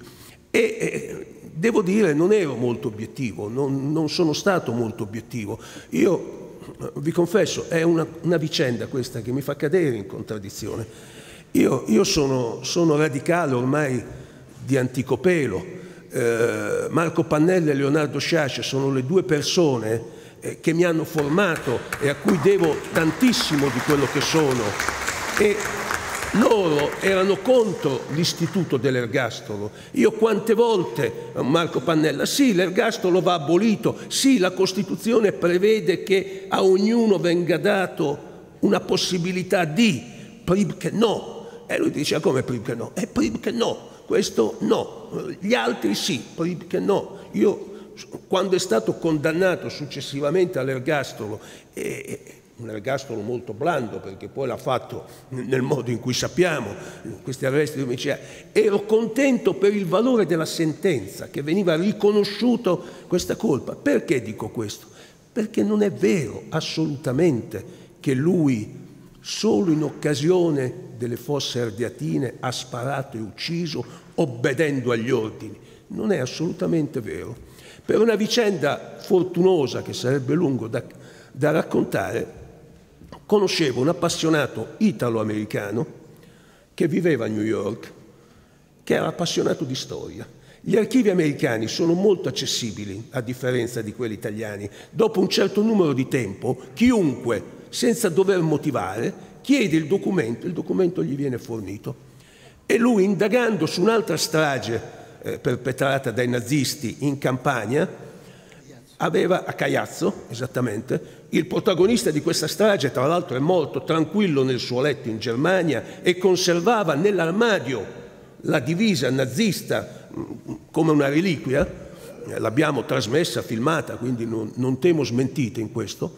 Dicevo, fugando su questa storia, lui era originario di Caiazzo, trovo un documento che una spia americana aveva trasmesso al servizio segreto americano, all'epoca credo l'OSS, e Pribke, assieme ad altri gerarchi nazisti, Wolf, Kappler e altri due, viene letteralmente descritto, non lo dimenticherò mai, come torturatore, persecutore di ebrei e di partigiani. E questo, eh? sì, ma questo documento ha la data antecedente al Via Rasella e alle Ardiatine. Lui era persecutore e torturatore di partigiani, individuato da questa spia e denunciato alla, ai suoi referenti già 7-8 mesi prima che i partigiani facessero la strage a Via. Quindi veniva a crollare uno dei pilastri della sua difesa. Eh, io ho ucciso solo quella... No, tu eri quello che con gusto e piacere ha indossato la divisa della SS. Hai fatto la SS, sei stato un SS e hai continuato a essere un SS. E quindi cambiava tutto. E naturalmente questa cosa non è stata molto gradita dalla difesa di Pribk, perché per andare eh, sul tranquillo, eh, quando è che ho esibito davanti alla telecamera questo documento? Eh, alle 13 quando ero in diretta, quindi non c'era possibilità di essere fermato, non c'era la possibilità di tagliare il servizio. Di, insomma, ho detto sapete che c'è, non voglio sapere né leggere né scrivere, mi danno la linea, tac, e sbatto questo documento. Naturalmente gli avvocati non l'hanno presa molto bene questa storia e eh, non avendola presa molto bene poi è accaduto che mi sono trovato troppo onore, magari fossi stato uno degli organizzatori della rivolta che c'è stata il giorno della soluzione di Pripke, magari avrei voluto esserlo, sarebbe motivo di orgoglio e una bella medaglia, purtroppo era semplicemente un cronista che seguiva i fatti. Comunque ci troviamo, Riccardo e io, indicati come i, capi di questa rivolta, che figuriamoci è una rivolta di popolo, così si può dire, non solo della comunità ebraica, perché c'era tutta Roma, insomma, o tutta la Roma democratica, se vogliamo chiamarla così. E quindi veniamo querelati. E vabbè, e ti chiami un avvocato e vieni difeso e vieni assolto in primo grado, poi vieni assolto in secondo grado, poi vieni assolto in Cassazione. A questo punto è finito. La Cassazione nel suo dispositivo aveva anche dato eh, un qualcosa di risarcimento per il nostro disturbo, risarcimento che io mi sono ben guardato da, dall'andare a, anche a sognarmi di esigere, perché era l'ultima delle cose che potevo desiderare, avere anche un centesimo eh, di, di, questo innominabile.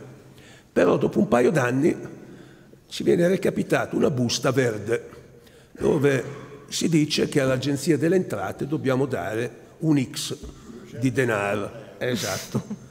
E io vado naturalmente dal mio commercialista e gli dico, io ti ho raccomandato mille volte che se dobbiamo fare una cosa deve essere una botta mondiale, dove io mi ritiro alle Bahamas, eh, eh, ma per 250 euro mi fai questo scherzo.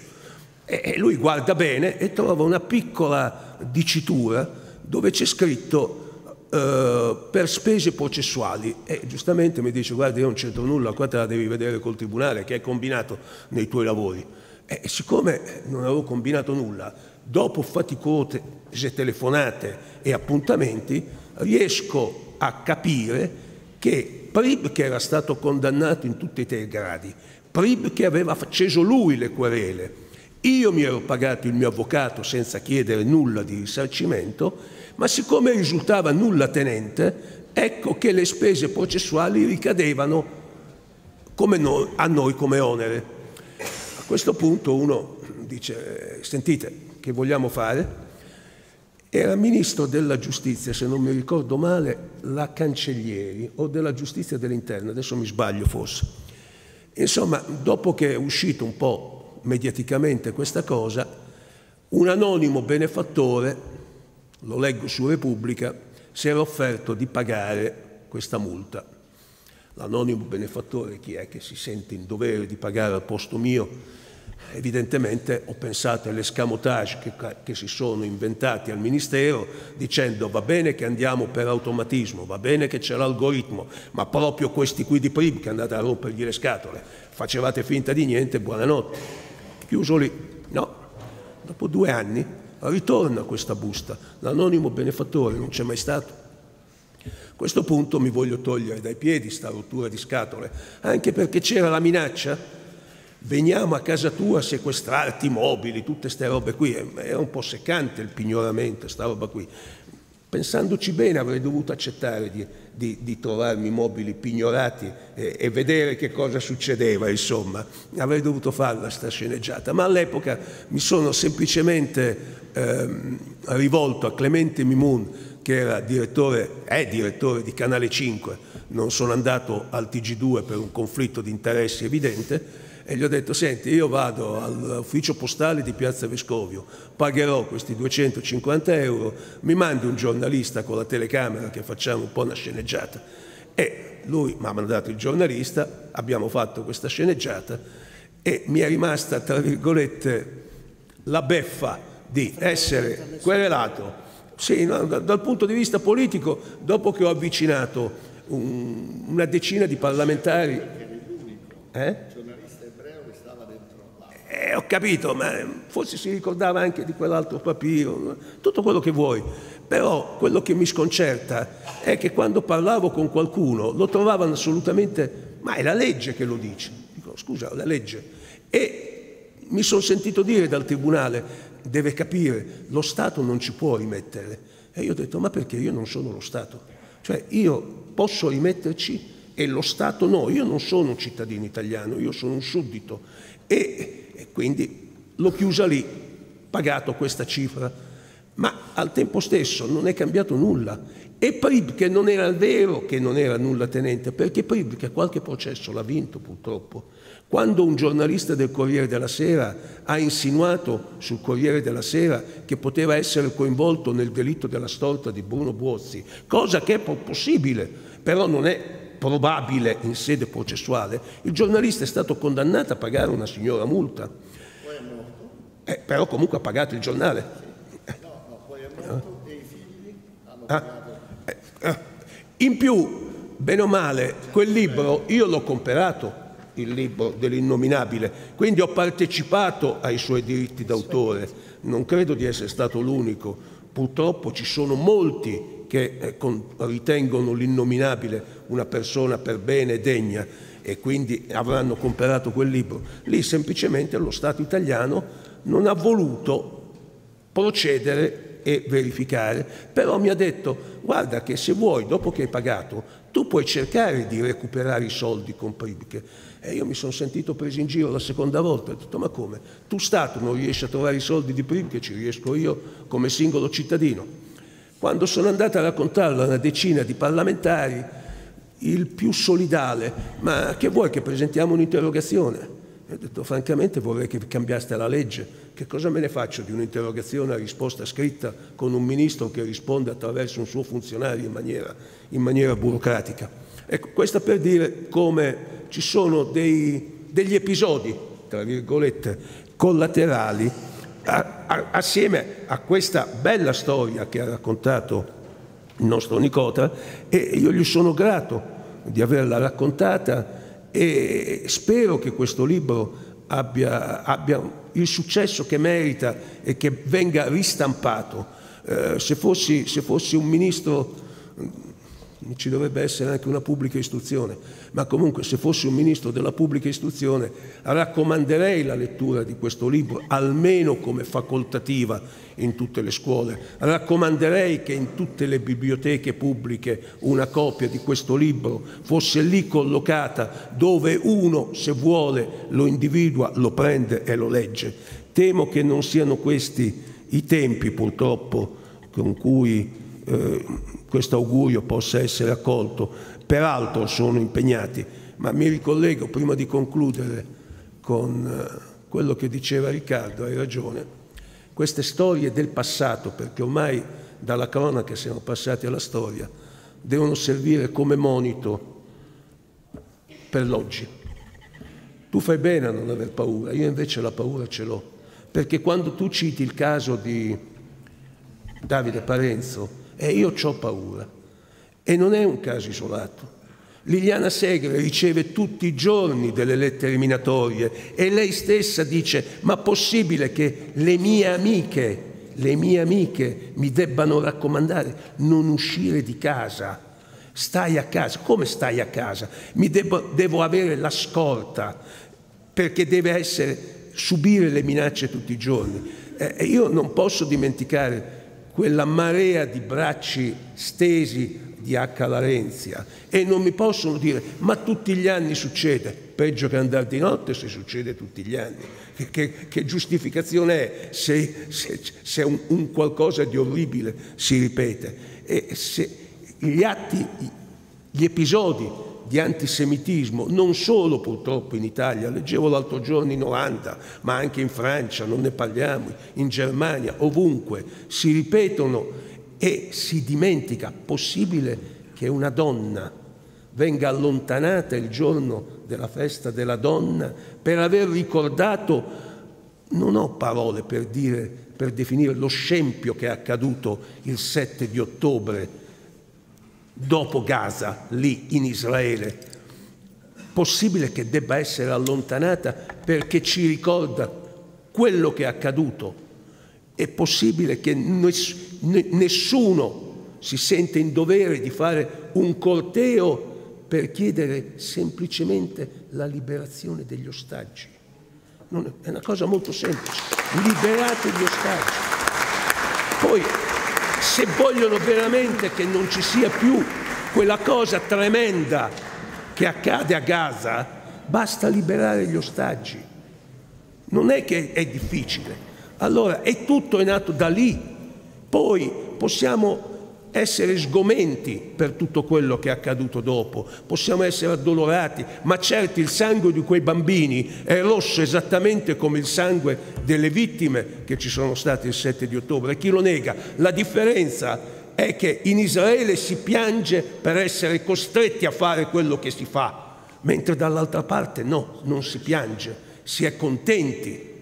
E quindi chiudo con questo richiamo all'oggi che mi porta a essere, lo confesso, molto pessimista. Io credo che noi apparteniamo a una generazione che non vedrà cose particolarmente orribili, forse anche i nostri figli. Io non sono sicuro che i nostri nipoti non, verranno, non vedranno il ripetersi di quello che è già accaduto. Grazie Walter. Grazie, grazie mille a Walter Vecellio per questa sua testimonianza appassionata. E, ehm, questa, grazie professoressa, anche lei non si preoccupi, so che siamo andati un pochino lunghi con i tempi, ma vorrei presentarvi il professor Alberto Gambino, membro della Commissione europea contro il razzismo al Consiglio d'Europa. Lei ha potuto ascoltare anche questa pagina, dunque sia, abbiamo, dire, abbiamo allargato il tema inevitabilmente, no? Sì, eh, non solo ho ascoltato questa pagina, ma è verissimo che questi rigurgiti siano presenti in vari paesi europei. Eh, la Commissione europea contro il razzismo e l'intolleranza che nel Consiglio d'Europa monitora i 46 paesi del Consiglio d'Europa, il 47 è sospeso, è la Russia, per verificare qual è la soglia di rispetto dei diritti umani. soprattutto con riferimento alle cosiddette minoranze. Eh, quindi questo significa eh, che per quanto italiano noi siamo indipendenti rispetto al paese cui apparteniamo e quindi c'è la possibilità di fare segnalazioni su tutta Europa ogni qualvolta ci possano essere espressioni di razzismo, antisemitismo, di episodi anche singoli. Non siamo un organo giurisdizionale, quello poi è la Corte europea dei diritti dell'uomo che eventualmente se ne occupa. Noi siamo un organo politico istituzionale che si rivolge ai governi, ai 46 governi, alle 46 cancellerie dell'Europa larga. L'Europa stretta è quella della Commissione europea, ai 27 l'Europa larga è quella del Consiglio d'Europa. E i nostri rapporti durano cinque anni. Il monitoraggio rispetto ai paesi che ci vengono assegnati due a due, due commissari in cinque anni fanno una relazione su alcuni paesi, su tutti i paesi in realtà. Eh, questo da un punto di vista istituzionale, quindi c'è una piena disponibilità nei confronti di chi ha a cuore che ci sia un pieno rispetto e non si torni alle aberrazioni del passato. Ho visto, ho letto il eh, libro, consentitemi, è un penalista, io sono un civilista, ma comunque lo sento come collega. Mi hanno coinvolto alcuni passaggi. Eh, Roma che si costituisce parte civile. È bellissima questa cosa, perché sono le radici della nostra città che si costituiscono. Medaglia d'oro alla resistenza. E questo mi ha commosso perché proprio radicato in questo territorio, la realtà che invece è stata conculcata nei suoi diritti in maniera aberrante. Le leggi razziali è una macchia che non si cancellerà mai. Il tema della prescrizione e la coscienza è molto bello. Eh, le coscienze non si prescrivono, il diritto si prescrive anche se poi oggi la, la Corte Costituzionale è intervenuta proprio sul tema della prescrizione eh, in particolare eh, c'è un'illegittimità di un ordine che si ritiene in questo caso che è un ordine disumano e quindi va oltre la regola giuridica. E questo è, fondamentale perché se noi non lo andiamo a raccontare nelle scuole, il formalismo giuridico, cui noi legali inevitabilmente siamo legati perché abbiamo le procedure, le scadenze che non ci fanno dormire la notte, i termini, eppure a un certo punto prevale l'umanità e quell'umanità è superiore alla norma del diritto positivo dello Stato. È quella la vera norma che non è solo di coscienza ma è di una civiltà che si confronta tutti i giorni e rispetta l'altro. E, e questo è il motivo che io le, ho letto, che a un certo punto il rammarico, lo chiamo del collega Nicotera, era quello di placare gli animi e dire no, noi dobbiamo arrivare fino in fondo al processo. La fiducia anche nella giustizia umana. È commovente quando dice si fa l'appello, si fa l'appello perché io lì voglio ottenere che lo Stato, quando esercita la giustizia, si riallinei alla coscienza. È molto bello perché quel disallineamento crea una frizione in ciascuno di noi come la crearono le leggi razziali. Non si può vivere in una casa comune che non ha quel rispetto e siccome la giurisdizione la esercitano persone in carne e ossa, umane, con tutti i loro errori, ma lo esercitano nel nome della legge e nel nome dello Stato e da questo punto di vista la strada era la sentenza di appello. E poi certo tutta la storia, anche, devo dire anche coraggiosa, no? del ministro che blocca tutto, che in qualche ora si riesce a recuperare una situazione che sarebbe inevitabilmente trasbordata. Eh, il, un altro passaggio, eh, questo è un po' più per gli addetti ai lavori, i tribunali militari. I tribunali militari che eh, quasi non riescono a capire il crimine contro l'umanità c'è un po', scusate questa espressione, un po' di cinismo in chi eh, governa abitualmente alcuni crimini, che è diverso invece dal tribunale ordinario che ovviamente ogni singola vita ha un valore infinito. Il crimine militare, il tribunale militare, eh, questo lo sente meno ed è molto interessante questo passaggio perché fa anche capire poi talvolta anche la, non dico non preparazione, ma forse l'insensibilità che si può trovare in chi incarna quei giudici, come peraltro è successo eh, in questo caso.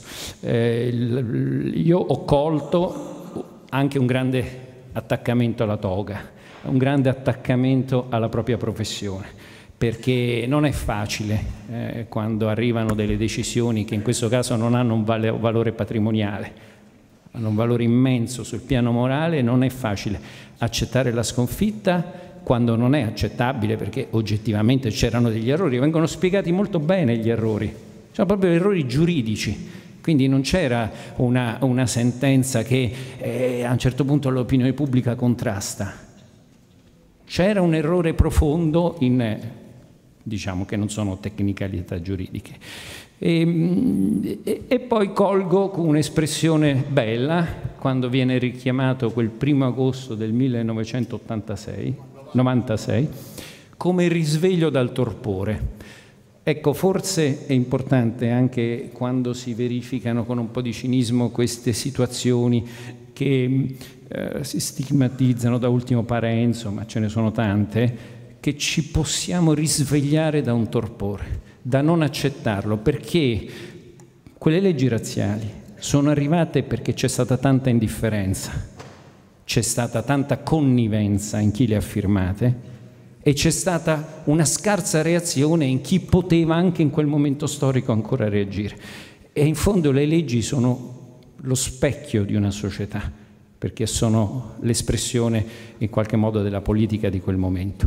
Eh, oggi la Corte Costituzionale diceva che l'archiviazione per prescrizione non è condanna e questo è importante perché eh, è una distinzione dove eh, spesso, sempre di più, uno cerca di leggere tra le righe se comunque era colpevole perché sul piano morale comunque almeno c'è una qualche soddisfazione anche se poi il reato si è prescritto. Non può essere così, non può essere così.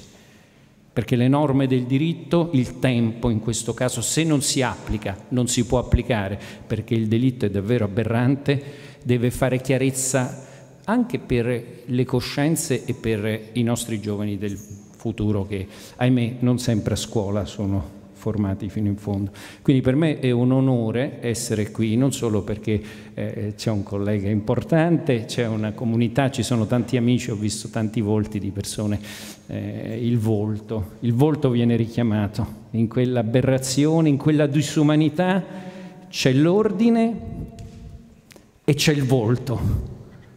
E l'ordine si doveva arrestare davanti a quel volto, perché si riconosceva nel volto l'umanità, non nell'ordine.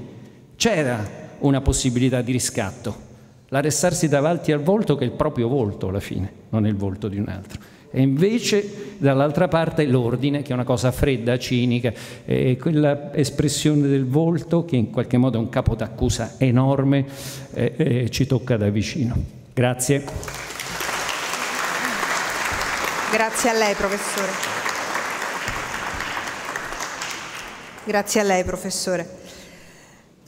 Allora, io darei la parola, siamo arrivati alle conclusioni, all'avvocato Salvatore Sciullo, il tesoriere della Camera Penale di Roma e noi, lei porta i saluti, ma ha ascoltato di tutto, no? E vorrei sapere la sua. Sì, allora buonasera a tutti. Io sono un penalista come Pietro e quindi sono abituato a prendere la parola per ultimo. e prendendo la parola per ultimo siamo quelli che andiamo a trarre un po' le conclusioni del, del processo. E dobbiamo richiamare la vostra attenzione, essere rapidi, però allo stesso tempo ho il dovere di valorizzare l'opera di Pietro e devo dire che prendo veramente la parola con, con grande piacere per l'invito che l'amico Pietro Nicotra mi ha fatto e lo dico subito, bello, bello, bello, proprio bello. Questo ritengo che sia un, un doculibro, un libro documentario che va a documentare non soltanto la parte storica, abbiamo sentito dei massimi esponenti che hanno purtroppo vissuto in prima persona direttamente, trasmettendoci anche quel pathos, quelle problematiche, quella drammaticità del momento, ma c'è la parte processuale, che è la parte che fa unitamente al fatto storico per l'appunto la storia, la storia di questo paese, la storia che siamo noi. E allora oltre a portare i saluti della Camera Penale, del Presidente Scalise e la nostra vicinanza, perché Pietro Nicotera è un penalista, come lo è la figlia Carlotta e come lo è anche il figlio oh, Gianmaria, che è un nostro iscritto della Camera Penale, e questo testimonia anche la passione che si tramanda, perché Pietro anche leggendo questo libro si capisce la passione, la dedizione che mette all'interno di questo, di questo libro. Però devo fare un passaggio ulteriore che leggendo il libro mi ha fatto molto riflettere l'importanza della funzione del difensore. Perché il penalista, l'avvocato penalista, quale eh, Pietro testimonia di essere ormai da qualche anno, è un ruolo importante e noi per l'appunto con la Camera Penale abbiamo proprio uno di quegli scopi che è quello di tutelare e promuovere la funzione del difensore, la dignità, l'autonomia, l'indipendenza, che sono tutti valori che Pietro Nicotera ha testimoniato in questo processo di avere, di tutelare e di difendere. E nulla è scontato, soprattutto in, in situazioni che si capisce, si percepisce eh, ambientalmente, definiamole così, particolari, difficili. E con la sua tenacia, con la sua caparbia, eh, dall'individuazione che ha fatto televisivamente alla denuncia che ha sporto, a sollevare una questione di legittimità costituzionale che per la prima volta si è riconosciuto il principio di potersi costituire parte civile, un cittadino privato, in un processo davanti al Tribunale militare. E questo è stato anche questo un altro segmento, un altro tassello in questo percorso storico che direi dal punto di vista giuridico è stato estremamente importante e determinante. E allora in questo libro che si legge benissimo, soprattutto in un sabato più uggioso qual è stato quell'altro giorno, vola via, vi consiglio veramente di leggerlo, ricostruisce le tappe di un processo, che è un processo che ha fatto la storia è un processo alla storia e un po' noi penalisti con i nostri processi diventiamo coartefici della storia. Ci sono due punti che mi hanno colpito molto e eh, vorrei leggerli perché sono pagina 91. Questa fu la parte più ansi- le parole di Pietro testuali, questa fu la parte più ansiogena da affrontare, quale difensore con un contatto diretto con i parenti delle vittime che parteciparono al processo, perché era il loro processo, la loro vicenda umana ed era difficilissimo spiegare loro che sarebbe potuto finire con una dichiarazione di non responsabilità, se si fosse seguita la linea difensiva dell'imputato, di avere obbedito a un ordine a cui non poteva sottrarsi. Sentivo su di me il peso dell'importanza del momento e quindi una certa agitazione nel sapere che a quel punto, una volta presa la parola, gli occhi del mondo sarebbero stati su di me, in quanto il processo veniva ripreso e trasmesso, si può dire, da tutte le televisioni dei diversi continenti. Tutto questo, tutto questo mentre la famiglia di Pietro è stata minacciata. E allora la forza dell'uomo, la forza dell'avvocato che in questo momento delicato è andato avanti. Ed ancora, e concludo, a pagina 107, io non ho seguito nessuna direttiva e le iniziative che ho preso a volte sono state anche osteggiate da chi invece avrebbe dovuto sostenerle con forza. Vedete, questo è un po' il dramma che tutti noi penalisti viviamo e ancora di più in questi processi importanti perché tra la realtà storica, ciò che è realmente avvenuto, e la realtà processuale, quello che proviamo quotidianamente a ricostruire all'interno delle aule di giustizia, è difficile e spesso non ci sarà mai una perfetta sovrapposizione.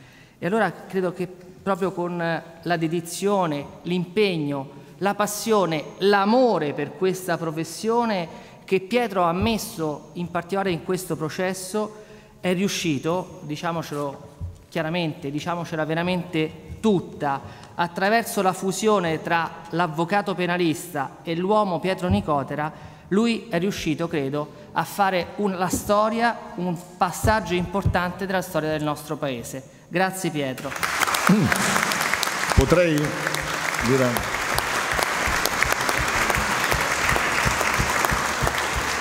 Nell'emozione del mio intervento credo che sia corretto chiarire un passaggio.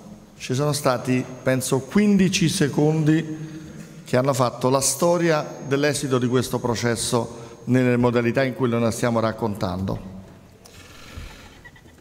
E devo ricordare, lo sento veramente dal profondo del cuore, un signore. Si chiamava Raimondo Di Neris, era un sopravvissuto alla Shoah. Perché se non fosse stato per lui, il processo si sarebbe concluso nelle modalità che sappiamo. La Tullia Zevi, che era l'unica messa nell'aula, disse andiamo tutti a deporre le, i fiori e il Comune di Roma eh, insieme ai rappresentanti della comunità devo anche dire una cosa. Il presidente della comunità ebraica di allora, Claudio Fano, era figlio di una vittima delle fosse ardeatine e non ce l'ha fatta emotivamente ad essere presente al, al, al processo, cioè alla, alla sentenza, anzi lui stava negli uffici. Che cosa è successo? Che mi ricordo benissimo, siamo scesi dalle scale del tribunale, ci viene a prendere il sindaco Rutelli e dice a me e a Raimondo Di Neris, con il quale arrivai con un motorino, andiamo a deporre le, i fiori insieme a Tullia Zevi montate sulla mia macchina. Noi abbiamo il Raimondo Di Neris disse a me non me ne frega proprio niente di salire su quella macchina, sembrava il grande onore, nella macchina del sindaco no? che ti accompagna. Cioè, io, a me è stato affidato un compito e qui è il retroscena che lui non ha voluto pubblicare, però lo dobbiamo dire. No, non l'ho voluto pubblicare perché non volevo... No, no, assolutamente, ma invece la storia è esattamente un'altra. Noi eravamo rassegnati all'idea che in qualche maniera questo processo era già segnato nell'idea che sarebbe stato assolto. Ma noi venivamo dall'esperienza del processo diciamo, di Kapler.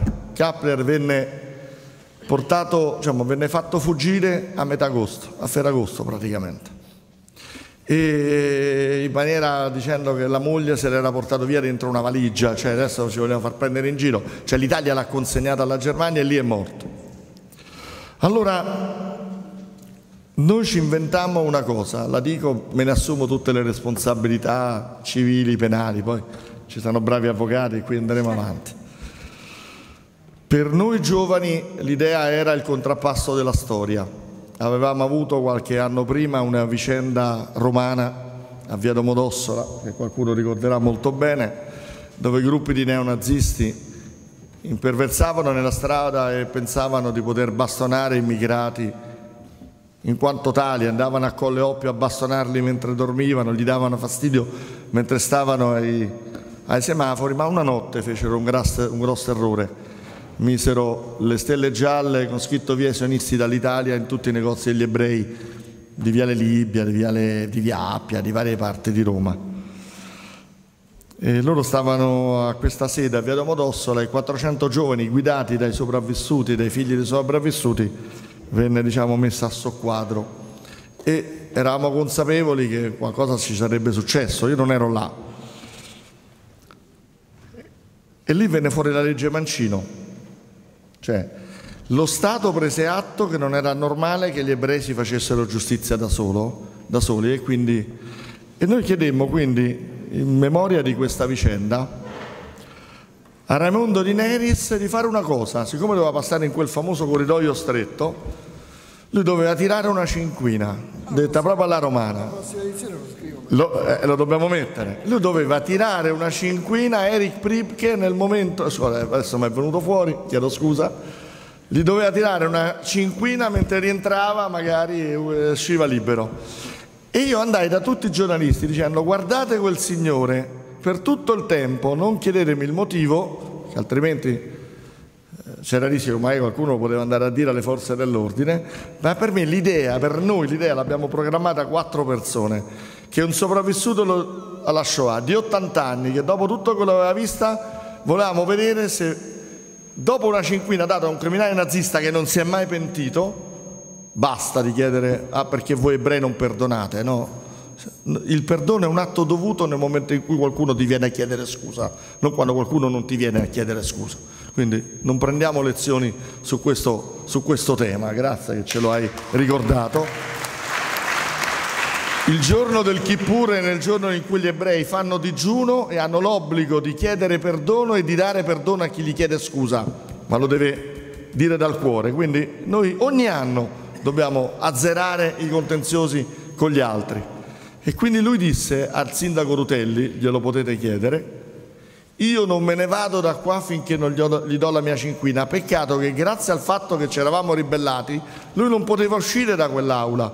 E se non fosse stato che lui diceva io lo voglio davanti a me, noi non, non avremmo fatto resistenza. Non avremmo potuto fare resistenza come raccontato se il rabbino Toaf, quando venni convocato da Guistelli, mi disse vi sto seguendo dall'isola d'Elba,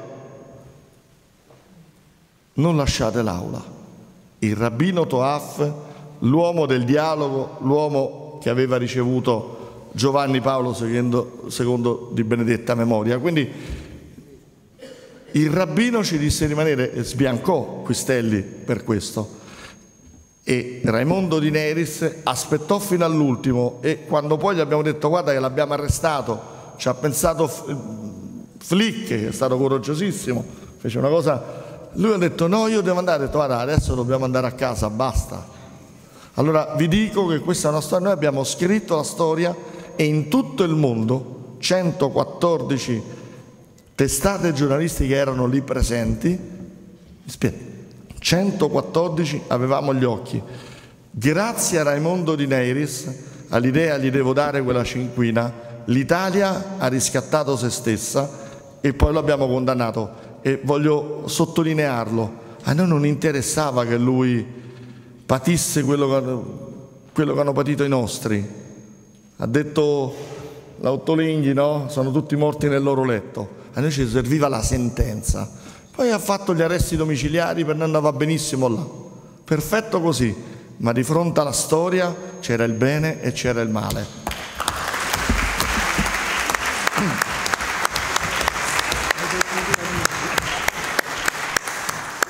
Beh, io penso che questo racconto sia incredibile. Ci voleva, ci voleva tanto, perché qui abbiamo parlato di argomenti tremendi, abbiamo parlato di forza, di coraggio, di passione. E, e il coraggio e la passione che ha messo l'avvocato, a cui vorrei dare uh, l'onere e l'onore di chiudere questo nostro pomeriggio di, di riflessione, no, avvocato?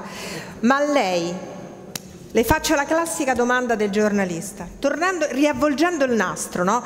dopo tutto, questi eh, retroscena che ci state raccontando, cioè, lei rifarebbe tutto? Ma sicuramente sì, sicuramente sì.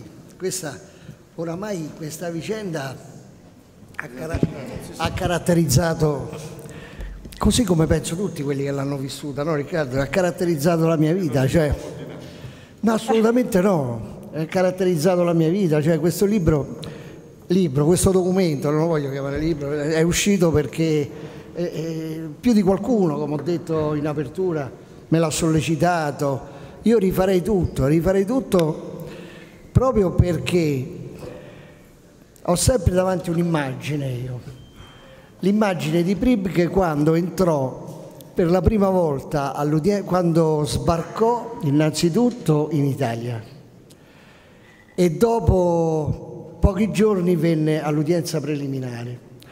Siccome lui aveva, perché questo me l'ha detto il suo avvocato, quindi aveva visto dall'Argentina dove stava gli arresti domiciliari un servizio di un telegiornale italiano che aveva ripreso la notizia della denuncia che io avevo fatto contro di lui per genocidio, per strage, perché ricordiamoci che le vittime delle fosse ardeatine sono 335, ma non sono solo quelle. C'è la 336esima vittima, una povera signora che si trovava a raccogliere la cicoria. Eh? eh, che ha sentito colpi di fucile, di pistola, si è avvicinata ed è stata uccisa perché era una testimone scomoda.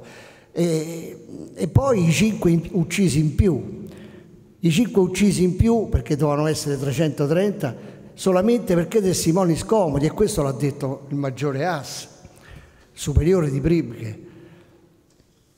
E quello fu uno dei motivi per cui fu condannato Kappler all'ergastolo, perché Kappler fu assolto perché eh, il tribunale militare del 48 ritenne che aveva obbedito ad un ordine, dicendo questa cosa nel rapporto del 10, ma fu condannato per l'errore per i 5 in più all'ergastolo. Quindi io questo ricordo, il ricordo di Pribke che era praticamente il contabile, quello che teneva la lista e che vedeva scendere, l'ha ricordato molto bene il professor Guarino, Gambino che si è allontanato, ho visto che ha notato dei, dei passaggi, a prescindere dalla storia, ma è giusto come sa fare un professore della sua levatura, ha colto i passaggi più emotivi de, del libro, di questa persona che ha visto scendere e passare davanti a sé 335 volti, 330, tra cui ragazzi giovanissimi che sapevano di andare a morire. Era un abbattuto ciglio dalle 2 del pomeriggio, dalle 14 fino alle 20. Quindi questo era uno dei pensieri prevalenti quando si, si, celebrava questo processo e vedevo in faccia questo personaggio. Fece peggio. Eh. Fece peggio. Soldati si rifiutarono di sparare sì, perché ogni, sì, vittima, ogni, sì. ogni, persona saliva sopra le vittime. Le vittime, sì. Era una montagna. Una montagna era diventata, Provate sì. immaginare questa scena e quando a un certo punto Microfono, microfono. le SS hanno, hanno, si sono rifiutati, non ce la facevano emotivamente a sparare sulla testa, lui l'ha fatto per loro. Sì, lui l'ha fatto. Accompagnati e quindi questo smentisce il fatto che se non avesse obbedito all'ordine sarebbe stato ucciso, perché per chi non ha obbedito all'ordine non è stato preso nessun tipo di provvedimento. No? E quindi c'è stata tutta una serie di circostanze e quindi per rispondere definitivamente alla domanda che Cristiana mi ha posto rifarei e rifarei tutto lo, così come l'ho fatto con l'impegno che ho profuso nel svolgere il mio mandato in quella circostanza e per il rispetto che avevo delle persone che ho rappresentato, Marina del Monte e i suoi familiari, la signora Sed Piazza, Sonnino, la famiglia Sonnino, profondo rispetto. E devo dire una cosa, questi familiari che io rappresentavo non sono mai voluti venire in tribunale, ma non per un motivo particolare, perché non se la sentivano di farlo. Io l'ho rappresentati e riferivo loro quello che succedeva, ma non hanno mai voluto eh, partecipare. E Marina del Monte è citata, lo dico nel libro, nel museo che sta negli Stati Uniti d'America, alla memoria è citata lei la sua storia, la storia del suo papà. Lei era piccolissima, aveva un anno e mezzo quando fu ucciso, quindi sicuramente rifarei tutto. Io voglio ringraziare tutti, voglio ringraziare te Cristiano, voglio ringraziare È stato un piacere. coloro che, che hanno partecipato, voglio ringraziare Salvatore Sciuto. E nel ringraziare lei, avvocato e i, suoi, e i suoi ospiti, vi aspetta il libro all'uscita. Grazie per essere stati No, con noi no. così tanti e così attenti. Buona serata. Un abbraccio.